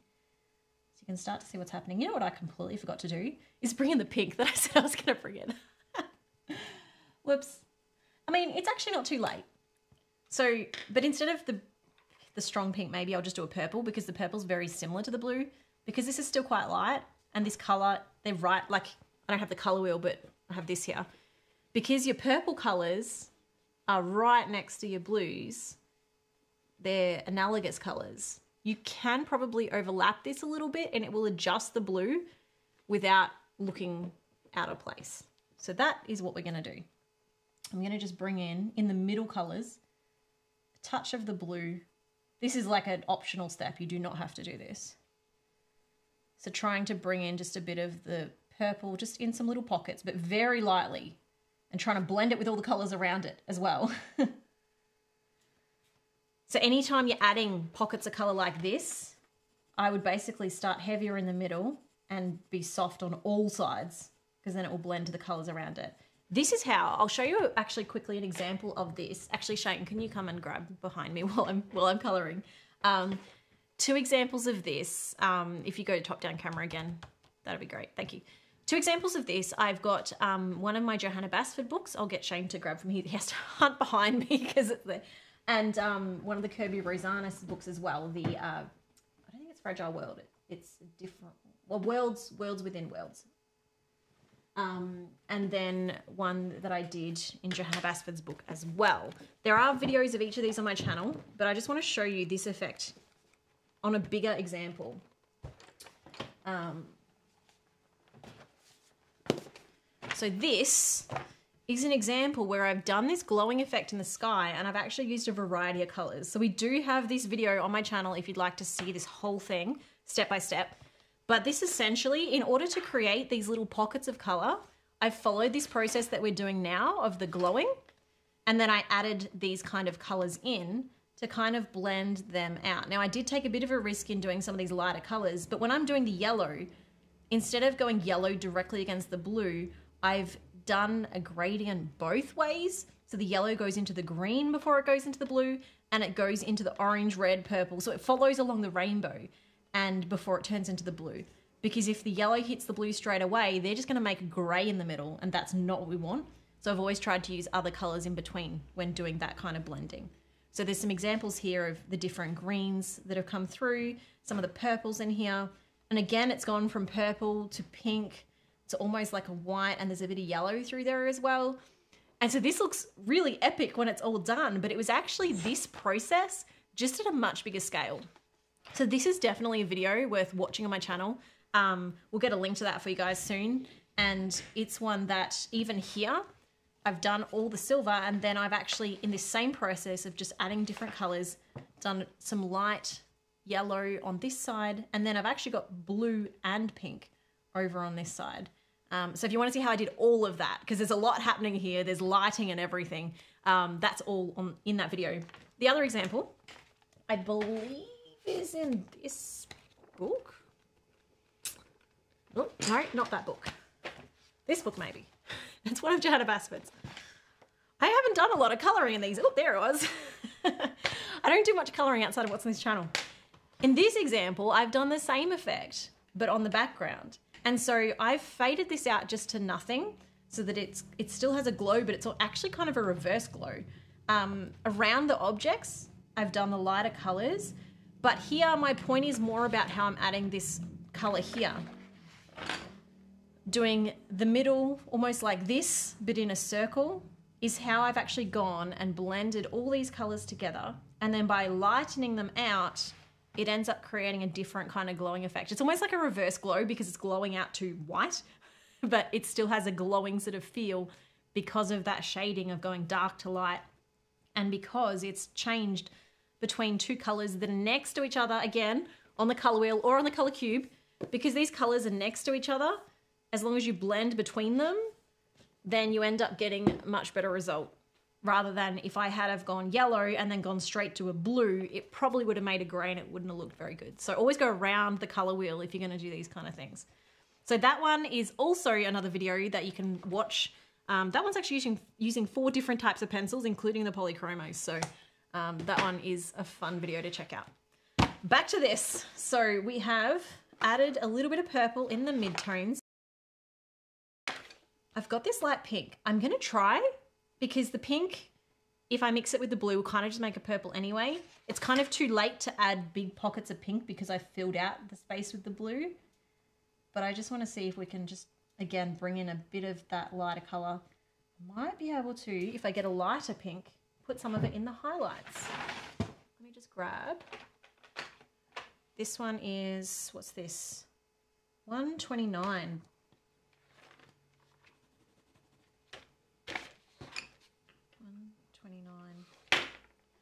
So I could then use this one a bit more in the highlights. So what I would do if you were doing this from scratch is do this sort of little little bits at a time from the whole thing rather than diving in with the blue like I did. So add just a little bit here, a little bit here. Just gives it a bit more of a whimsical multicolour glow rather than the one colour. Now, this is kind of the base of the glow. You could actually stop there if you weren't feeling confident enough to keep going, but I would always say, let's keep going because the more layers you add with this same effect, it's gonna look much stronger by the end. So I'm gonna go to my midtones next, actually, and fill out sort of the midtones a bit, trying not to touch that lighter color if I can avoid it, but trying to sort of now just fill in the gaps and blend to the darker I tend to go back and forth a lot between my colors because if you use the middle color for a long while, you lose the shadows, you use the highlight, lose the highlights. do too much shadows, you kind of just keep balancing back and forth and back and forth. And so that's sort of my approach from here is to just keep balancing.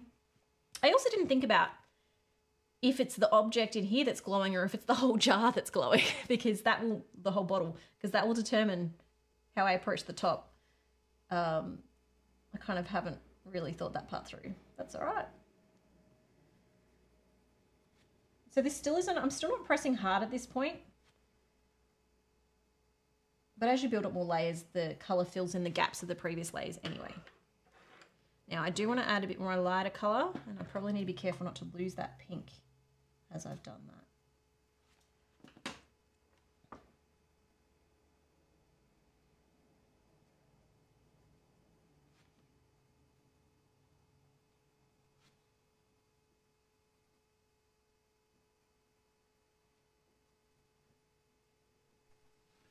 What number purple are you using? Um, that purple. Oh, don't even know which purple. Was it this one? Hang on. Is this the right purple? That feels darker. Where'd the other purple go? Oh, here it is. this purple is 136. Let's write that down.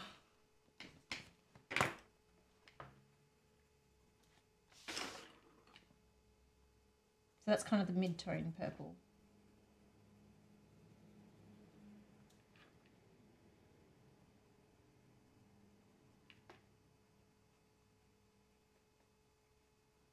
Okay, I do want to at this point bring in some more of the darker colors because I feel like a lot of it's become quite flat. So I'm going to go for the black here and just bring this back in around the outside. And then I might grab the dark blue as well.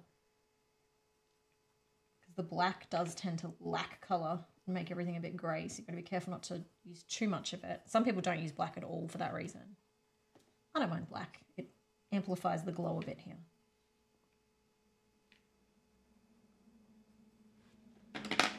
Then my dark blue, which is the dark indigo. I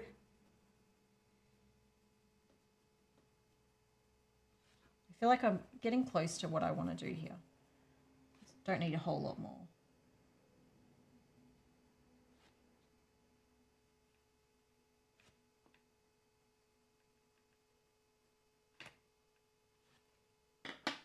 And then what I'm going to do is actually get this white and use the white from the inside out. And then we'll see after that if we need to add anything more.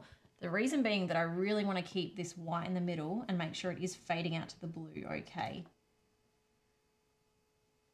It's possible that my other colours are a bit too close here to the edge. The white doesn't visibly change a lot, but it allows us to just blend that lighter blue into that middle a little bit easier.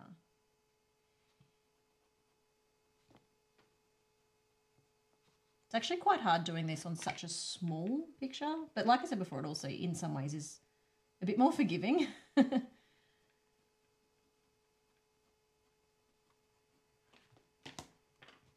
I mean, it's achieved the glow look. That's ultimately what we're going for. I have lost my pinks almost entirely.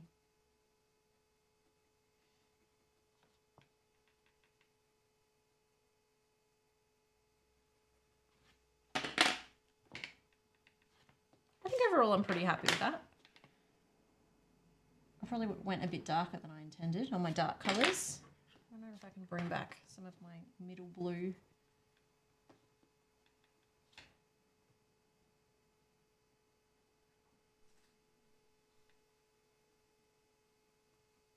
If you take your time a bit more than I am here as well, you'll find that you can play around with it a bit more. I mean, I think at the end of the day, that is glowing. And that's what we were going for. So then the challenge is, and I haven't really thought about this, what we're going to do with the middle, because if it's glowing, it should be pretty bright and we basically would lose all the lines. But then we kind of do want to see what's happening as well. Um, so, hmm, I don't really know how to approach this from here, if I'm being honest. Okay, I'm going to go with my gut. Maybe don't copy me on the spot in case in case you in case I really mess this up. Um, so I'm feeling that we do need we obviously need a bit of color. It can't just be nothing. Otherwise it doesn't look like it's glowing. It's just sitting there. So we need to lighten it, but we need to stick with some really light colors. And then I need to work out is the rose itself kind of glowing or is it the bottle or is it a little bit of both? We just need to kind of go for like an iridescent sort of combination somehow. So uh, I'm going to feel my way through this. So I'm going to see how we go. I'm going to actually leave a very tiny rim around the outside of the bottle that we're going to try and make white to help it feel a bit like glass, but also to feel like it's kind of reflecting that light. I don't know if that's going to work. We'll just, just roll with it here. I'm just going to colour over all the middle for a second.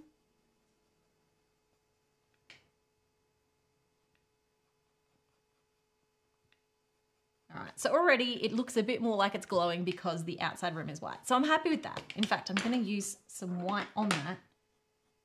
That really does nothing.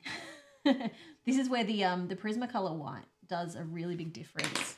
Like you notice when you're using a Prismacolor white. It's actually very, um, very risky to be trying to do a glowing object without something like a beautiful waxy white to help you.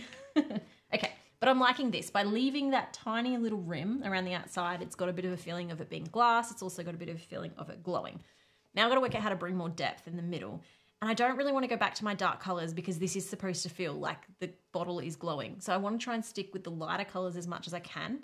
Um, and I'm wondering if I just kind of fill out some of the middle here, but not necessarily the flower, because I think the flower should be the part that's glowing as well. Um, so I'm just going to darken with the same colour, so it's not really darker, but just fill out a bit more around it, maybe?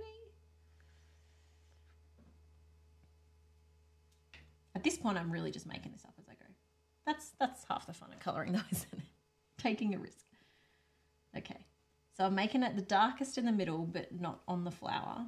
Hey, that's a fuchsia after that discussion we had earlier about how now I'm seeing fuchsias everywhere after not seeing them anywhere. Um, okay, So, so I'm just again gone a gradient with the one color from light on the outside to dark on the inside. I do feel like that's kind of heading where I want. Um, I'll use the white to kind of just flatten the color out a bit.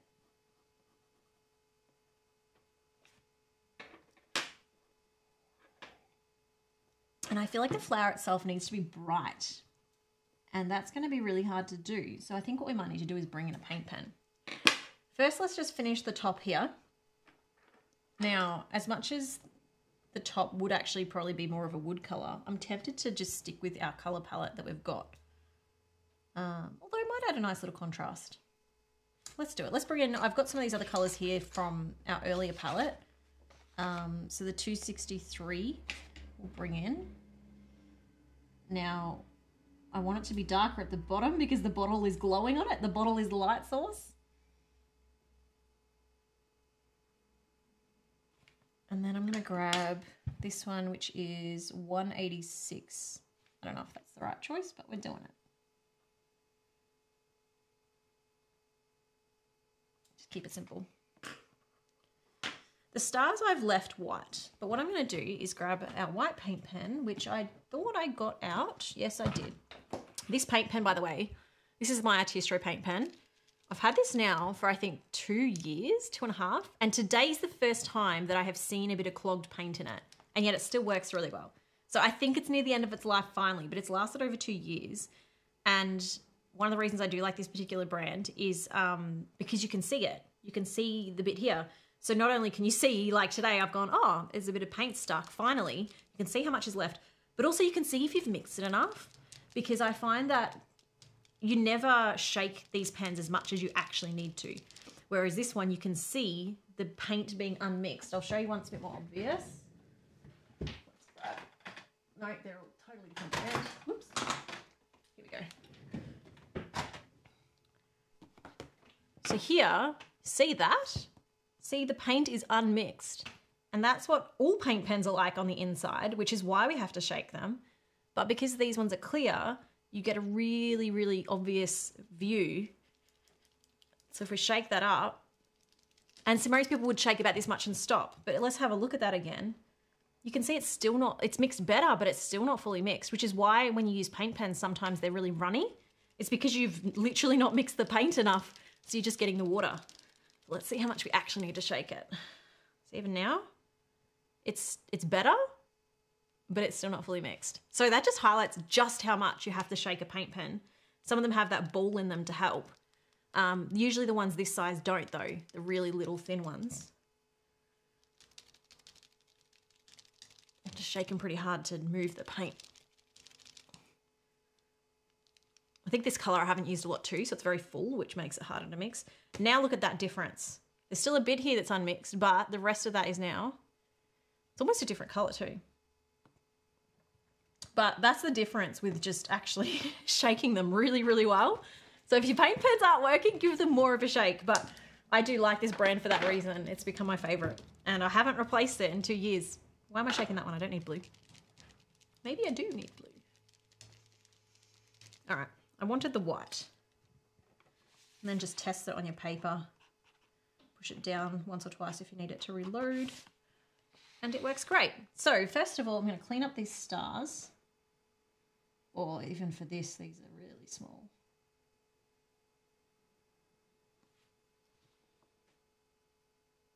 It's actually letting out too much paint of these tiny stars. That's like a fine tip.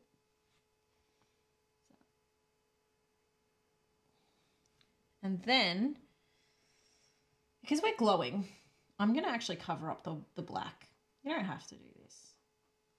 I don't know if it's going to work, look any good, but there's just no reason for there to be black there if this whole thing's glowing.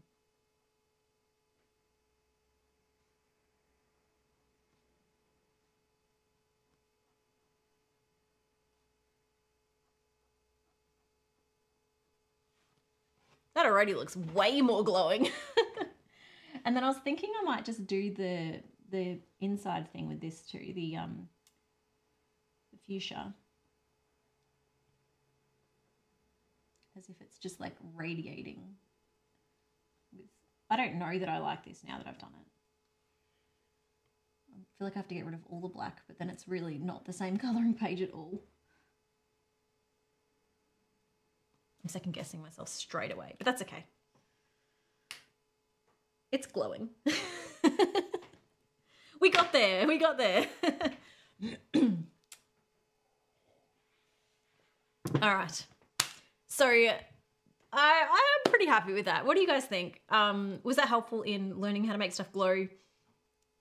Maybe you don't have to do that last bit that I did because I don't know that the paint pen isn't quite neat enough because the object is so small. If it was bigger, I think you'd be able to do it and it would look easier. But I do think that that whole uh, bottle is glowing quite well. That's really what we were going for.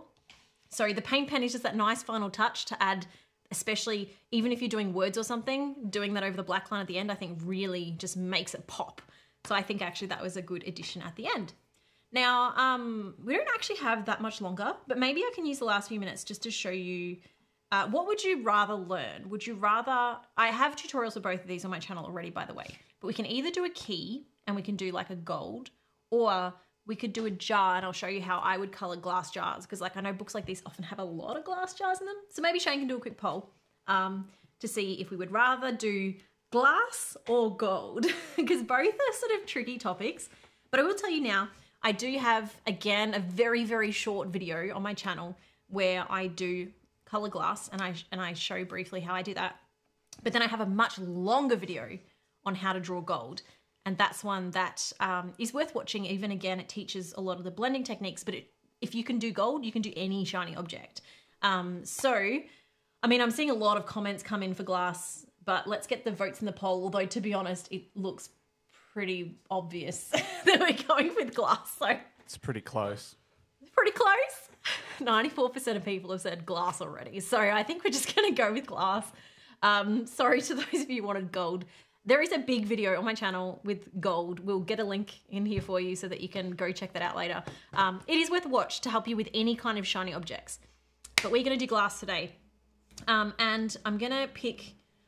Which one? There's a few. Let's do this one. Um, now, the, there's a few things you need to consider with glass. For one, is it clear glass? Is it tainted glass? Tinted glass? Not tainted glass. Um, and how clear is it? Like do you want to be able to see the objects in inside? And then what's your there's, there's a lot of factors. We'll try and keep it simple. The first thing i would recommend and actually shane i need my phone from you for this is to find yourself a reference photo and then kind of work from that. So that's exactly what i'm going to do to show you exactly the kind of reference photo that i would be looking for. So i'm just going to google glass jar because we are coloring a jar. The reason i do that and even for reflective things, it can be really good to get yourself a reference photo because a lot of it is about how the light bounces off an object. And unless you've done this a lot, that's a really hard thing to predict. So by finding just simple pictures like these of glass jars, we can then follow these as a guide of how the, the light actually works. So this simple Kmart one, actually I don't need to click on it because it would have been, oh, well there it is. This can give us, and there's a few different pictures here, a really good flat shape, not too different to our shape. And there's a lot of lighting happening on this one. I don't know how clearly you can see that on the camera, um, but it's darker in the middle and it's very bright on the edge. And there's a few slightly lighter versions on here. Um, what I might do, just to try and show this in more detail, um, this is something you can do to help you sort of analyze photos is I'm just going to jump in like, um, I have a Photoshop camera. I don't know if that's going to work for what I want. Just trying to find some kind of quick app. No, I have to log into that. I don't have a login. Um, if you have like Photoshop Express or something, that's good, but I don't seem to have, I should have that. PS Express. It might even just work in the editor on the phone. What I'm trying to do um, is find something that I can adjust the colors so that we can see the differences in the colors more prominently. So let me just open this and then I'll put this on the camera for you. I haven't used this app in ever really. Okay. Cool. So I've just put this into the app and I just want to go to adjustments. This is actually a really good trick too if you have a photo that you're trying to copy and you're finding it hard to see the values, like you're finding it hard to see the light and the shadows can put it into any app or even probably just in the photo editor and change it to black and white or even increase the contrast. So here we've got contrast here. We can then adjust it brighter and darker. And actually, that's not how contrast is supposed to work. But anyway, by making it darker, we can a bit more obviously see the shadows there. So I might even turn the shadows down because then you can see where the spots are. You won't then copy these colors exactly. But if I turn the blacks down as well, I'm trying to do this more for the camera for you guys to see the differences. See how now you can start to see those differences between the dark areas and the light areas a lot more easily? That's really what I'm trying to do here is trying to make this a more useful reference photo by giving myself really clear shapes to work with. So by doing this and editing the photo, you can actually do a lot of that quite easily. You can also change, if we change the saturation and turn the saturation up or down, it helps you to work out the colors. Now, because it's glass, there is basically no color here. so we could just use a gray to make this, or we could use a blue, or we could use any color if you're wanting like a tinted glass. I feel like because of our palette, I kind of want to do a bit of a green tinted glass, which means that we will do everything a little bit darker. But what it means is in here, instead of doing white, light grey, dark grey, and then like your black, we will do the same, but instead of light grey, we'll use light green. Instead of dark grey, we'll use dark green. And that should end up having the same look, even off this reference photo, even though it's not green. So bear with me on that. Hopefully that makes sense. If you do want to actually see what it would look like, we could probably find an option in here that would color. Close. Let's see. Nope. Oh, probably because I turned the saturation right down.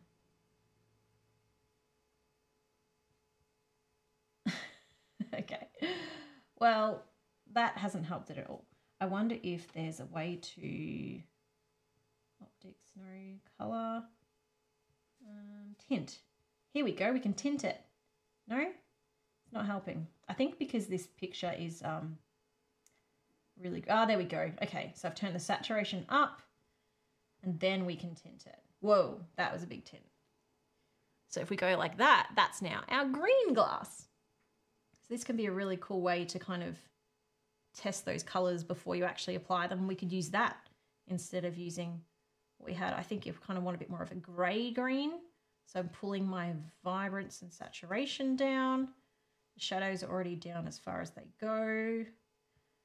And that, I don't know what this setting's supposed to do, but it's helping us to make it a bit darker again. So you can really see the different gaps in the color there.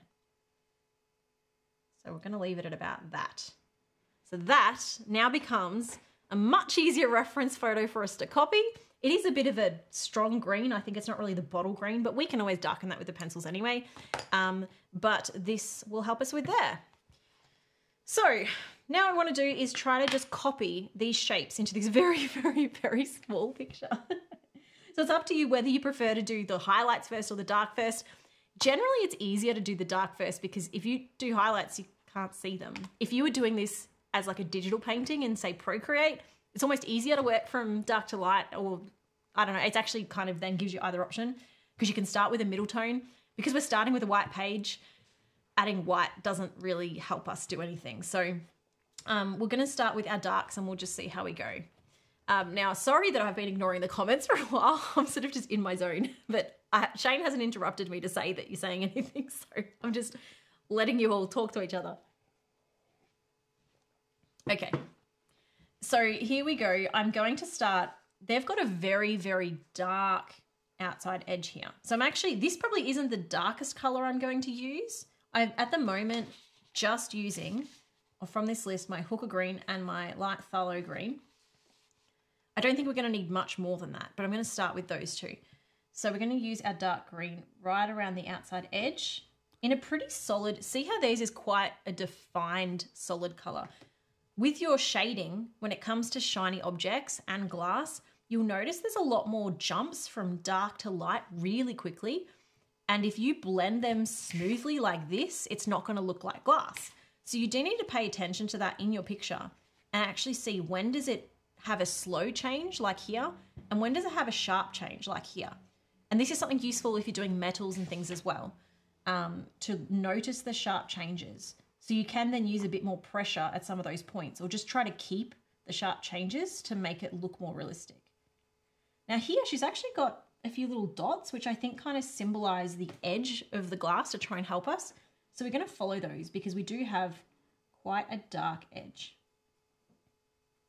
And again, I'm not actually using my darkest color yet. I sort of go almost in the mid-tones because you can always make it darker. What does the bottom look like? Okay. So now I need to just, let me just save this picture out so I can see the whole thing. Um, close. How do we get to that? Should probably also put my phone on airplane mode. just in case any family or anything decide to message me private stuff while we're on stream. That would be really awkward. Okay, I'm gonna move this over. Cool. So we have. Someone's asked if this is live or pre-recorded. I think um, me answering this question answers your question. I noticed a few people actually jumped in and clarified. So thank you, everyone. It is definitely live. It's flattering that you think it's pre-recorded. I definitely don't Or is feel. it? I definitely don't feel organized enough for it to be pre-recorded. Okay, so we've got a very very dark trim around the outside. Now our picture is pretty small, so it's going to be interesting to see how much we can define the things here. I'm going to basically ignore the leaves at this point. We're going to pretend they're not there.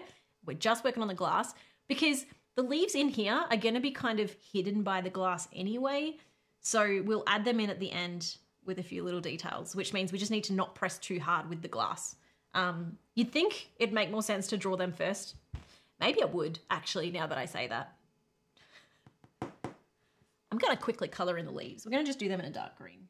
It's handy that it's a green glass and green leaves. That's, in fact, I'm probably going to have to make these darker anyway, because if this is the colour of the glass, they're going to disappear. That's all right. I just want to get some colour on them.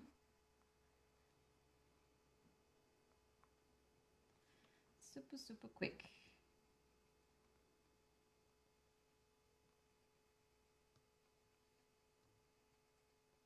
All right, great. So we do have, I might, which color should I, I might, this one feels too bright for a lot of this. So I'm going to actually stick with this color and just going to lightly shade to try and start to define these different areas. So there's, a, it's about a third in, there's a big strip of the darker color, but it's not the darkest color. So I'm just going to draw a line down here. Doesn't have to be perfect match either, because the glass, like, it just depends on where the light's hitting. But yeah, we have a pretty, like, consistent one color thing happening in the middle. Then on the side, we actually have a few little pockets of light, which is a bit tricky, but that's okay. And then we've got a bit of a gradient here from white to the dark color here as well, white to the dark color. So we're going to leave that light and we're going to try and sort of shade backwards from the edge into that. That might even be enough to kind of make that point. Glass is one of those things too that when we add at the end the highlights with white, it makes all the difference. So then I'm just looking at, is there a few little pockets that are a bit darker? They're probably just imperfections in the glass, which kind of adds. This doesn't really look like glass yet, but we'll get there. And I do think we're going to need some darker colours in this. But first, I'm going to get my second, my lighter colour, and now start to sort of work in this blending a bit too. I even think I probably won't have, oh, no, there will be a bit of white, but I'll come back with the um, paint pen to do that white because it's reflecting. So I actually want that to sit on top of the colour underneath. So we'll come back with the white paint pen at the end.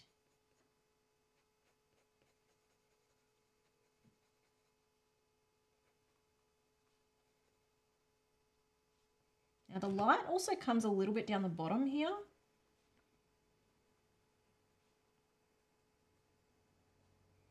This has, it would, be- would be great to have all this top section because you really see the changes in the light, but we don't have that. So we're kind of just working from halfway down.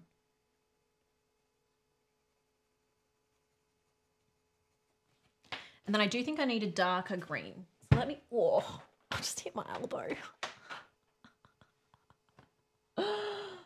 Oh, it wasn't quite my funny bone, but it still hurts. All right. Um, what's this one? Pine green. That's not really darker than the hooker green though. Um, I'm trying to decide if I want to bring in the dark, like the black, because there's actually I will for a few little bits, because there are some black trim right on the edge here. It's got a bit of black in it, so I'm just gonna not the whole way down, but see here and then about halfway down again. It must be reflecting of something there's a, the thing with things like glass and metal is that there is no color to them. They're just all reflection. So I really don't want to add too much black just in some of those key points. This is looking nothing like glass right now. it's fine. It'll get there. Um, okay. Pine green feels darker, but I think I'm just imagining that. I think I need to come back to this green that we have in the middle. My picture is darker than their picture. I feel like the light green isn't actually the right green either, but I'm just over analyzing at this point, so need that defined line.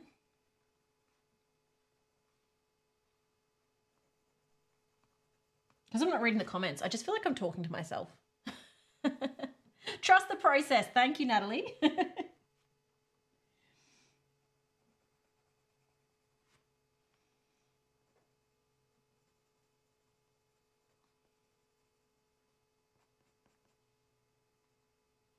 again, this is something that's it's harder with the polychromos. It's not impossible, but you kind of can't work backwards. Like you can't go light on top of dark as well as you can with waxy pencils.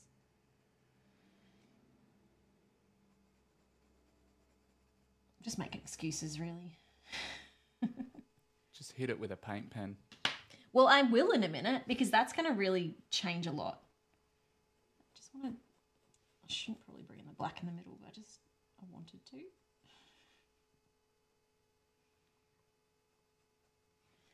I'm just now going back and forth trying to find the spots that I feel like don't match this, basically, which is a lot of it, if I'm being honest.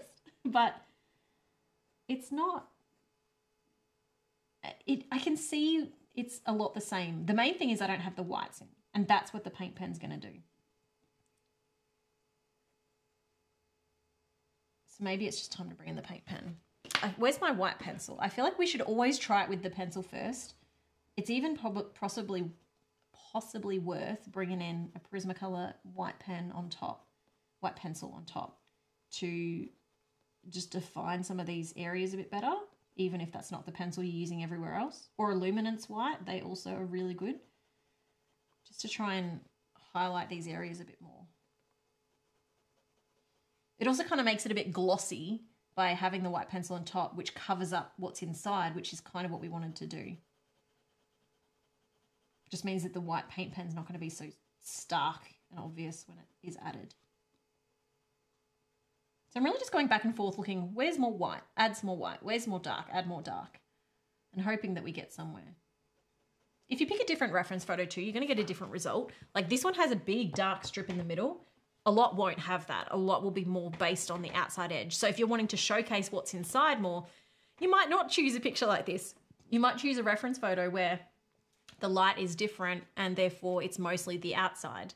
Um, rather than this one, it's got so much light bouncing off it that not only is it a little bit harder to do, it'll probably look cool when it's done, but it means that what's inside has basically disappeared. I've also picked a dark green. If you were to do this with a very, very light grey, the glass itself would be more subtle and what's inside will get showcased a little bit better. But I think at this point I'm ready to bring in the paint pen. oh, someone made a good point. Under the cloth would be shadow. Yes, you're right. I have completely dismissed the fact that this has a cloth around the top. So we do need to kind of just darken that whole area under there. That's probably what's not helping me with this looking realistic here.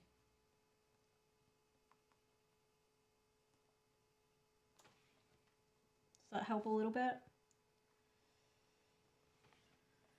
Okay, I'm to bring in the white. I feel like the short video on our channel with the how to draw glass turned out a lot better than what I'm anticipating this is to look. But I have, I always lack self confidence at this point. So let's just trust.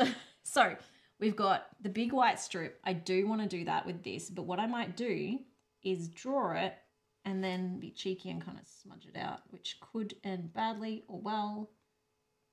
No, we're okay. And then I'm going to go over it again. Um, that's just added to that slight gradient, basically. And then it also curves in a little bit at the top, so we kind of do want to have that just curve a bit at the top. It has a slight bigger patch at the bottom, and then we've got the same on the other side. The other side, the obvious bit isn't as much in the middle, so again, I'm going to smudge. Probably, there's probably better things rather than my finger to do that with, but here we are.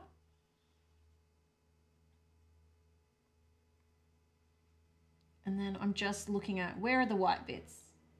Now, depending on how realistic you want it, is how much sort of smudge and layer versus just embracing the lines. There's a white line over here. There's a bit of a white line down the bottom. I feel like we need to smudge some out to the side there. Same with this one. I kind of want to bring some out. I'm treating the paint pen just like you would paint, I guess, in being on top. I do feel like we need to make these white panels thicker because that really is what's happening in this picture. There's a lot of white. There's a lot of contrast in this.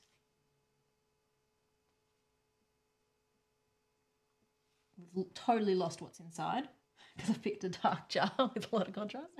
And then we've got a little white spot over here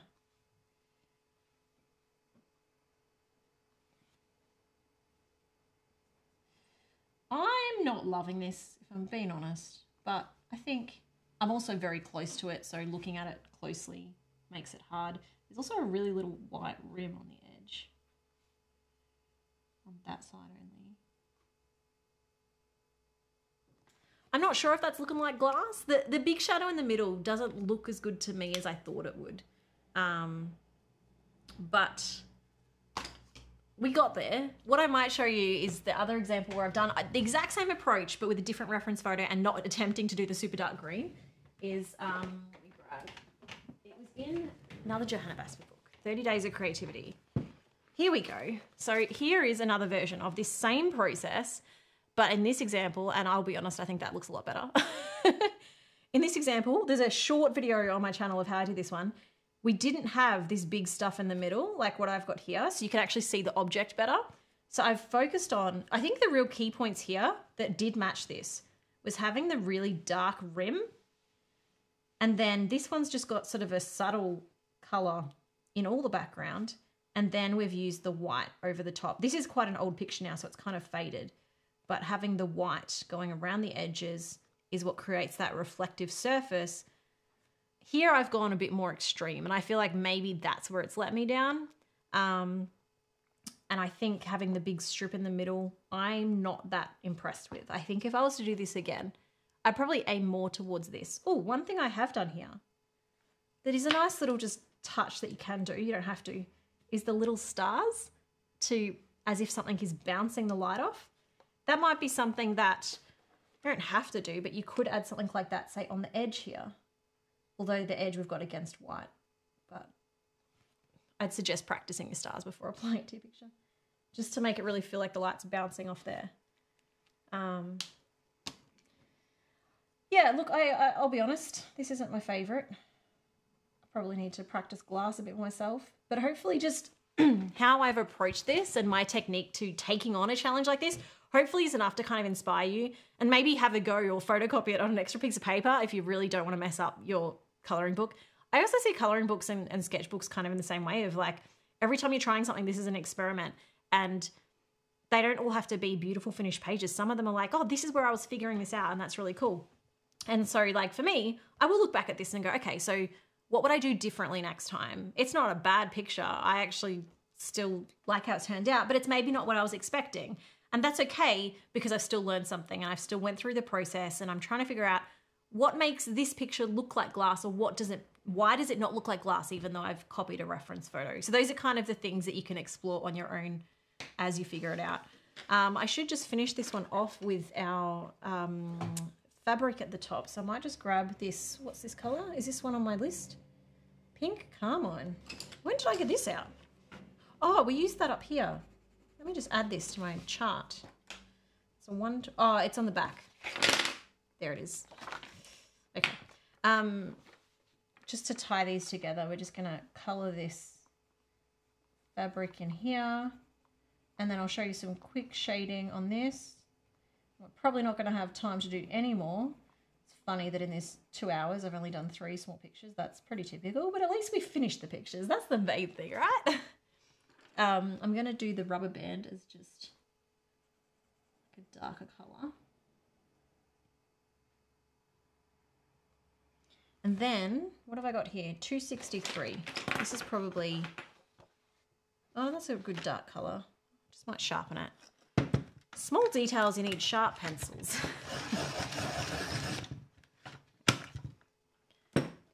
so what I'm going to do here with the shading is just try to think of which areas are going to be lower or higher with the fabric. So these loops where it's going, so let me give you a bigger version of, whoop, bigger version of this, right? So this is kind of what the picture has. So the areas that are up, the higher bits, they're probably going to get more light.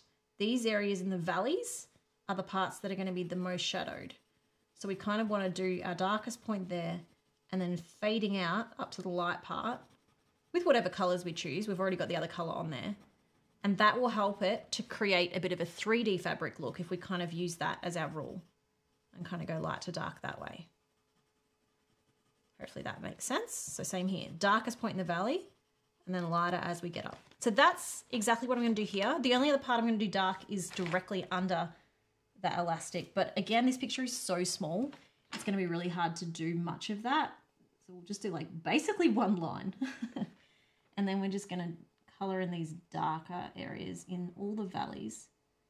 Doesn't give us a lot of room to work with because these pictures are quite small, but it also, again, forgiving.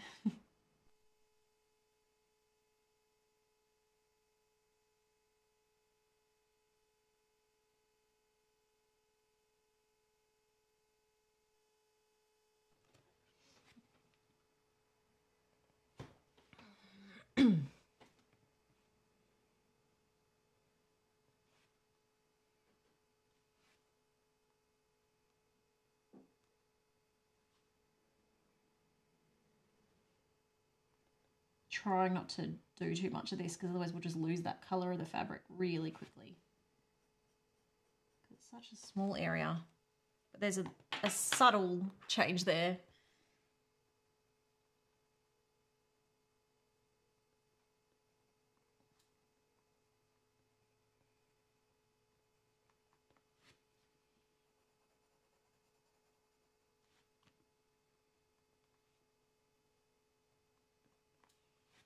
There we go.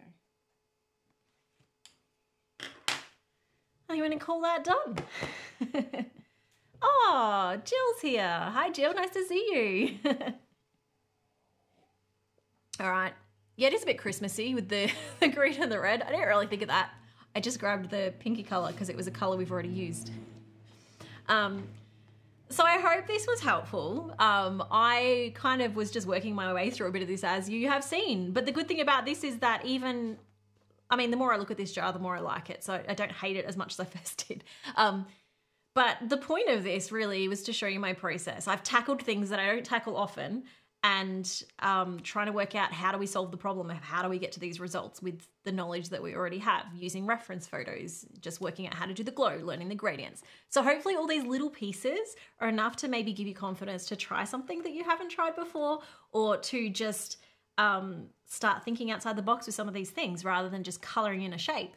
Can you add a second color? Can you try to make it glow? Can you um, try to make it shiny? Something like that. So hopefully these tips have helped. Um, I am going to stop here because I know that some of you would happily color with me for more than two hours, but it has hit lunchtime for me, and that's when I start to fade. Um, I'm actually doing pretty good at the moment, but it doesn't take long before the the combination of being on camera and only having coffee because I haven't really drunk enough of my water sitting here and not eating eventually catches up to me. so That's why we're calling it. Um, but I would love to see if any of you have colored along or done something else while we're doing this. I'd love to see those. Um, if you are not in my members Discord, we also do have a free Facebook group where you can share what you're working on. So please feel free to check that out. It's called Coloring with Sarah. And it's not just for coloring, you can do any kind of arts and that and show us that there as well. Um, but if you are on Facebook, you can check that out. If you're someone who wants to join our, our members Discord, there is our YouTube memberships is how you do that. So we have some different tiers. Um, the bronze tier gives you the cute emojis and the pencil next to your name, like you're seeing with some people. And um, that's something that is just a fun way to be a part of the community. But if you want access to the Discord and some of the other bonus features, then we have that available for silver and above. So our gold members. They get to get access to coloring pages and there's a bunch of other things in there as well.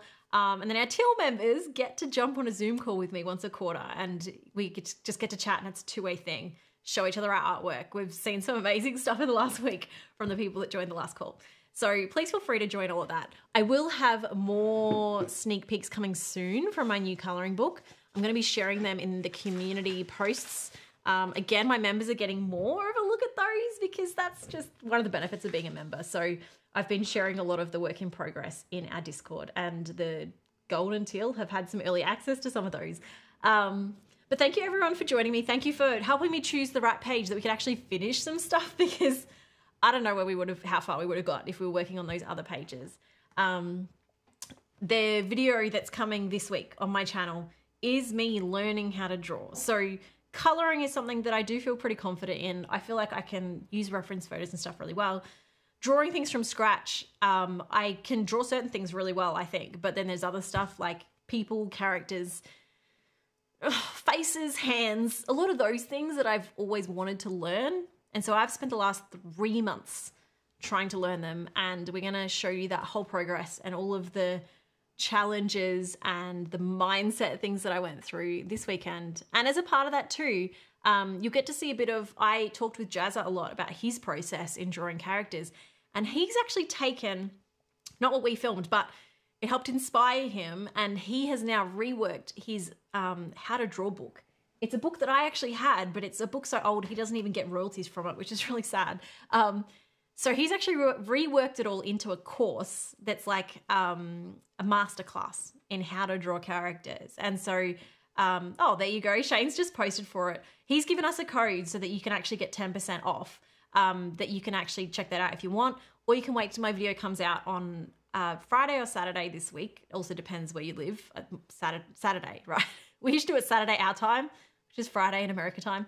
Um, you get to see how I talk through with him, and that will give you kind of a little bit of a taste of what's in his masterclass. So if it's something you want to learn, feel free to check that out. Um, also, yes, I see some people in here saying thank you to Shane and Natalie, who are both with us today. They've been the ones answering all your questions, keeping the chat safe and free of spam, and also posting all the links as I just talk and be like, hey, here's the video, because they have to go find it. We haven't planned this. Um, and also afterwards, what we might do, um, you've got the shot that we've had during the video of this stuff, but we might put in the description of this video. Once it goes up, we'll pop in the description the list of all these so that you can write them down and access them. And the color palettes that I use that are all, my desk is a mess, by the way. it doesn't take long, it doesn't take much. And I'm looking at it going, oh, it's, uh, it's gotten out of control. But um, we will put that once this once we end the live stream, the video will be up for people that want to watch the replay. And I would love it if you could come and just, if you've enjoyed this, leave a comment and leave a like just saying what was your favorite part about this stream because it will help us to then, for new people that are watching the replay, to see that people were here and to see because the live replay, the comments just works differently. Um, so please come tell us what your favorite part was today, what you'd like to see in a future stream. Sorry we didn't get to say hi to Moscow today. He's around somewhere. We've lost him. Uh, we haven't lost him and um, yeah, that's kind of that's kind of it. Um, if you have any other questions, please don't keep chatting here with questions because I won't see them. We're about to lose the live chat, but please feel free to comment on the video. I'll stick around for the next 20 minutes while I eat lunch to just answer some comments and um, answer any questions that I missed. Thank you so much for joining me and enjoy the rest of your day or evening or whatever time it is for you.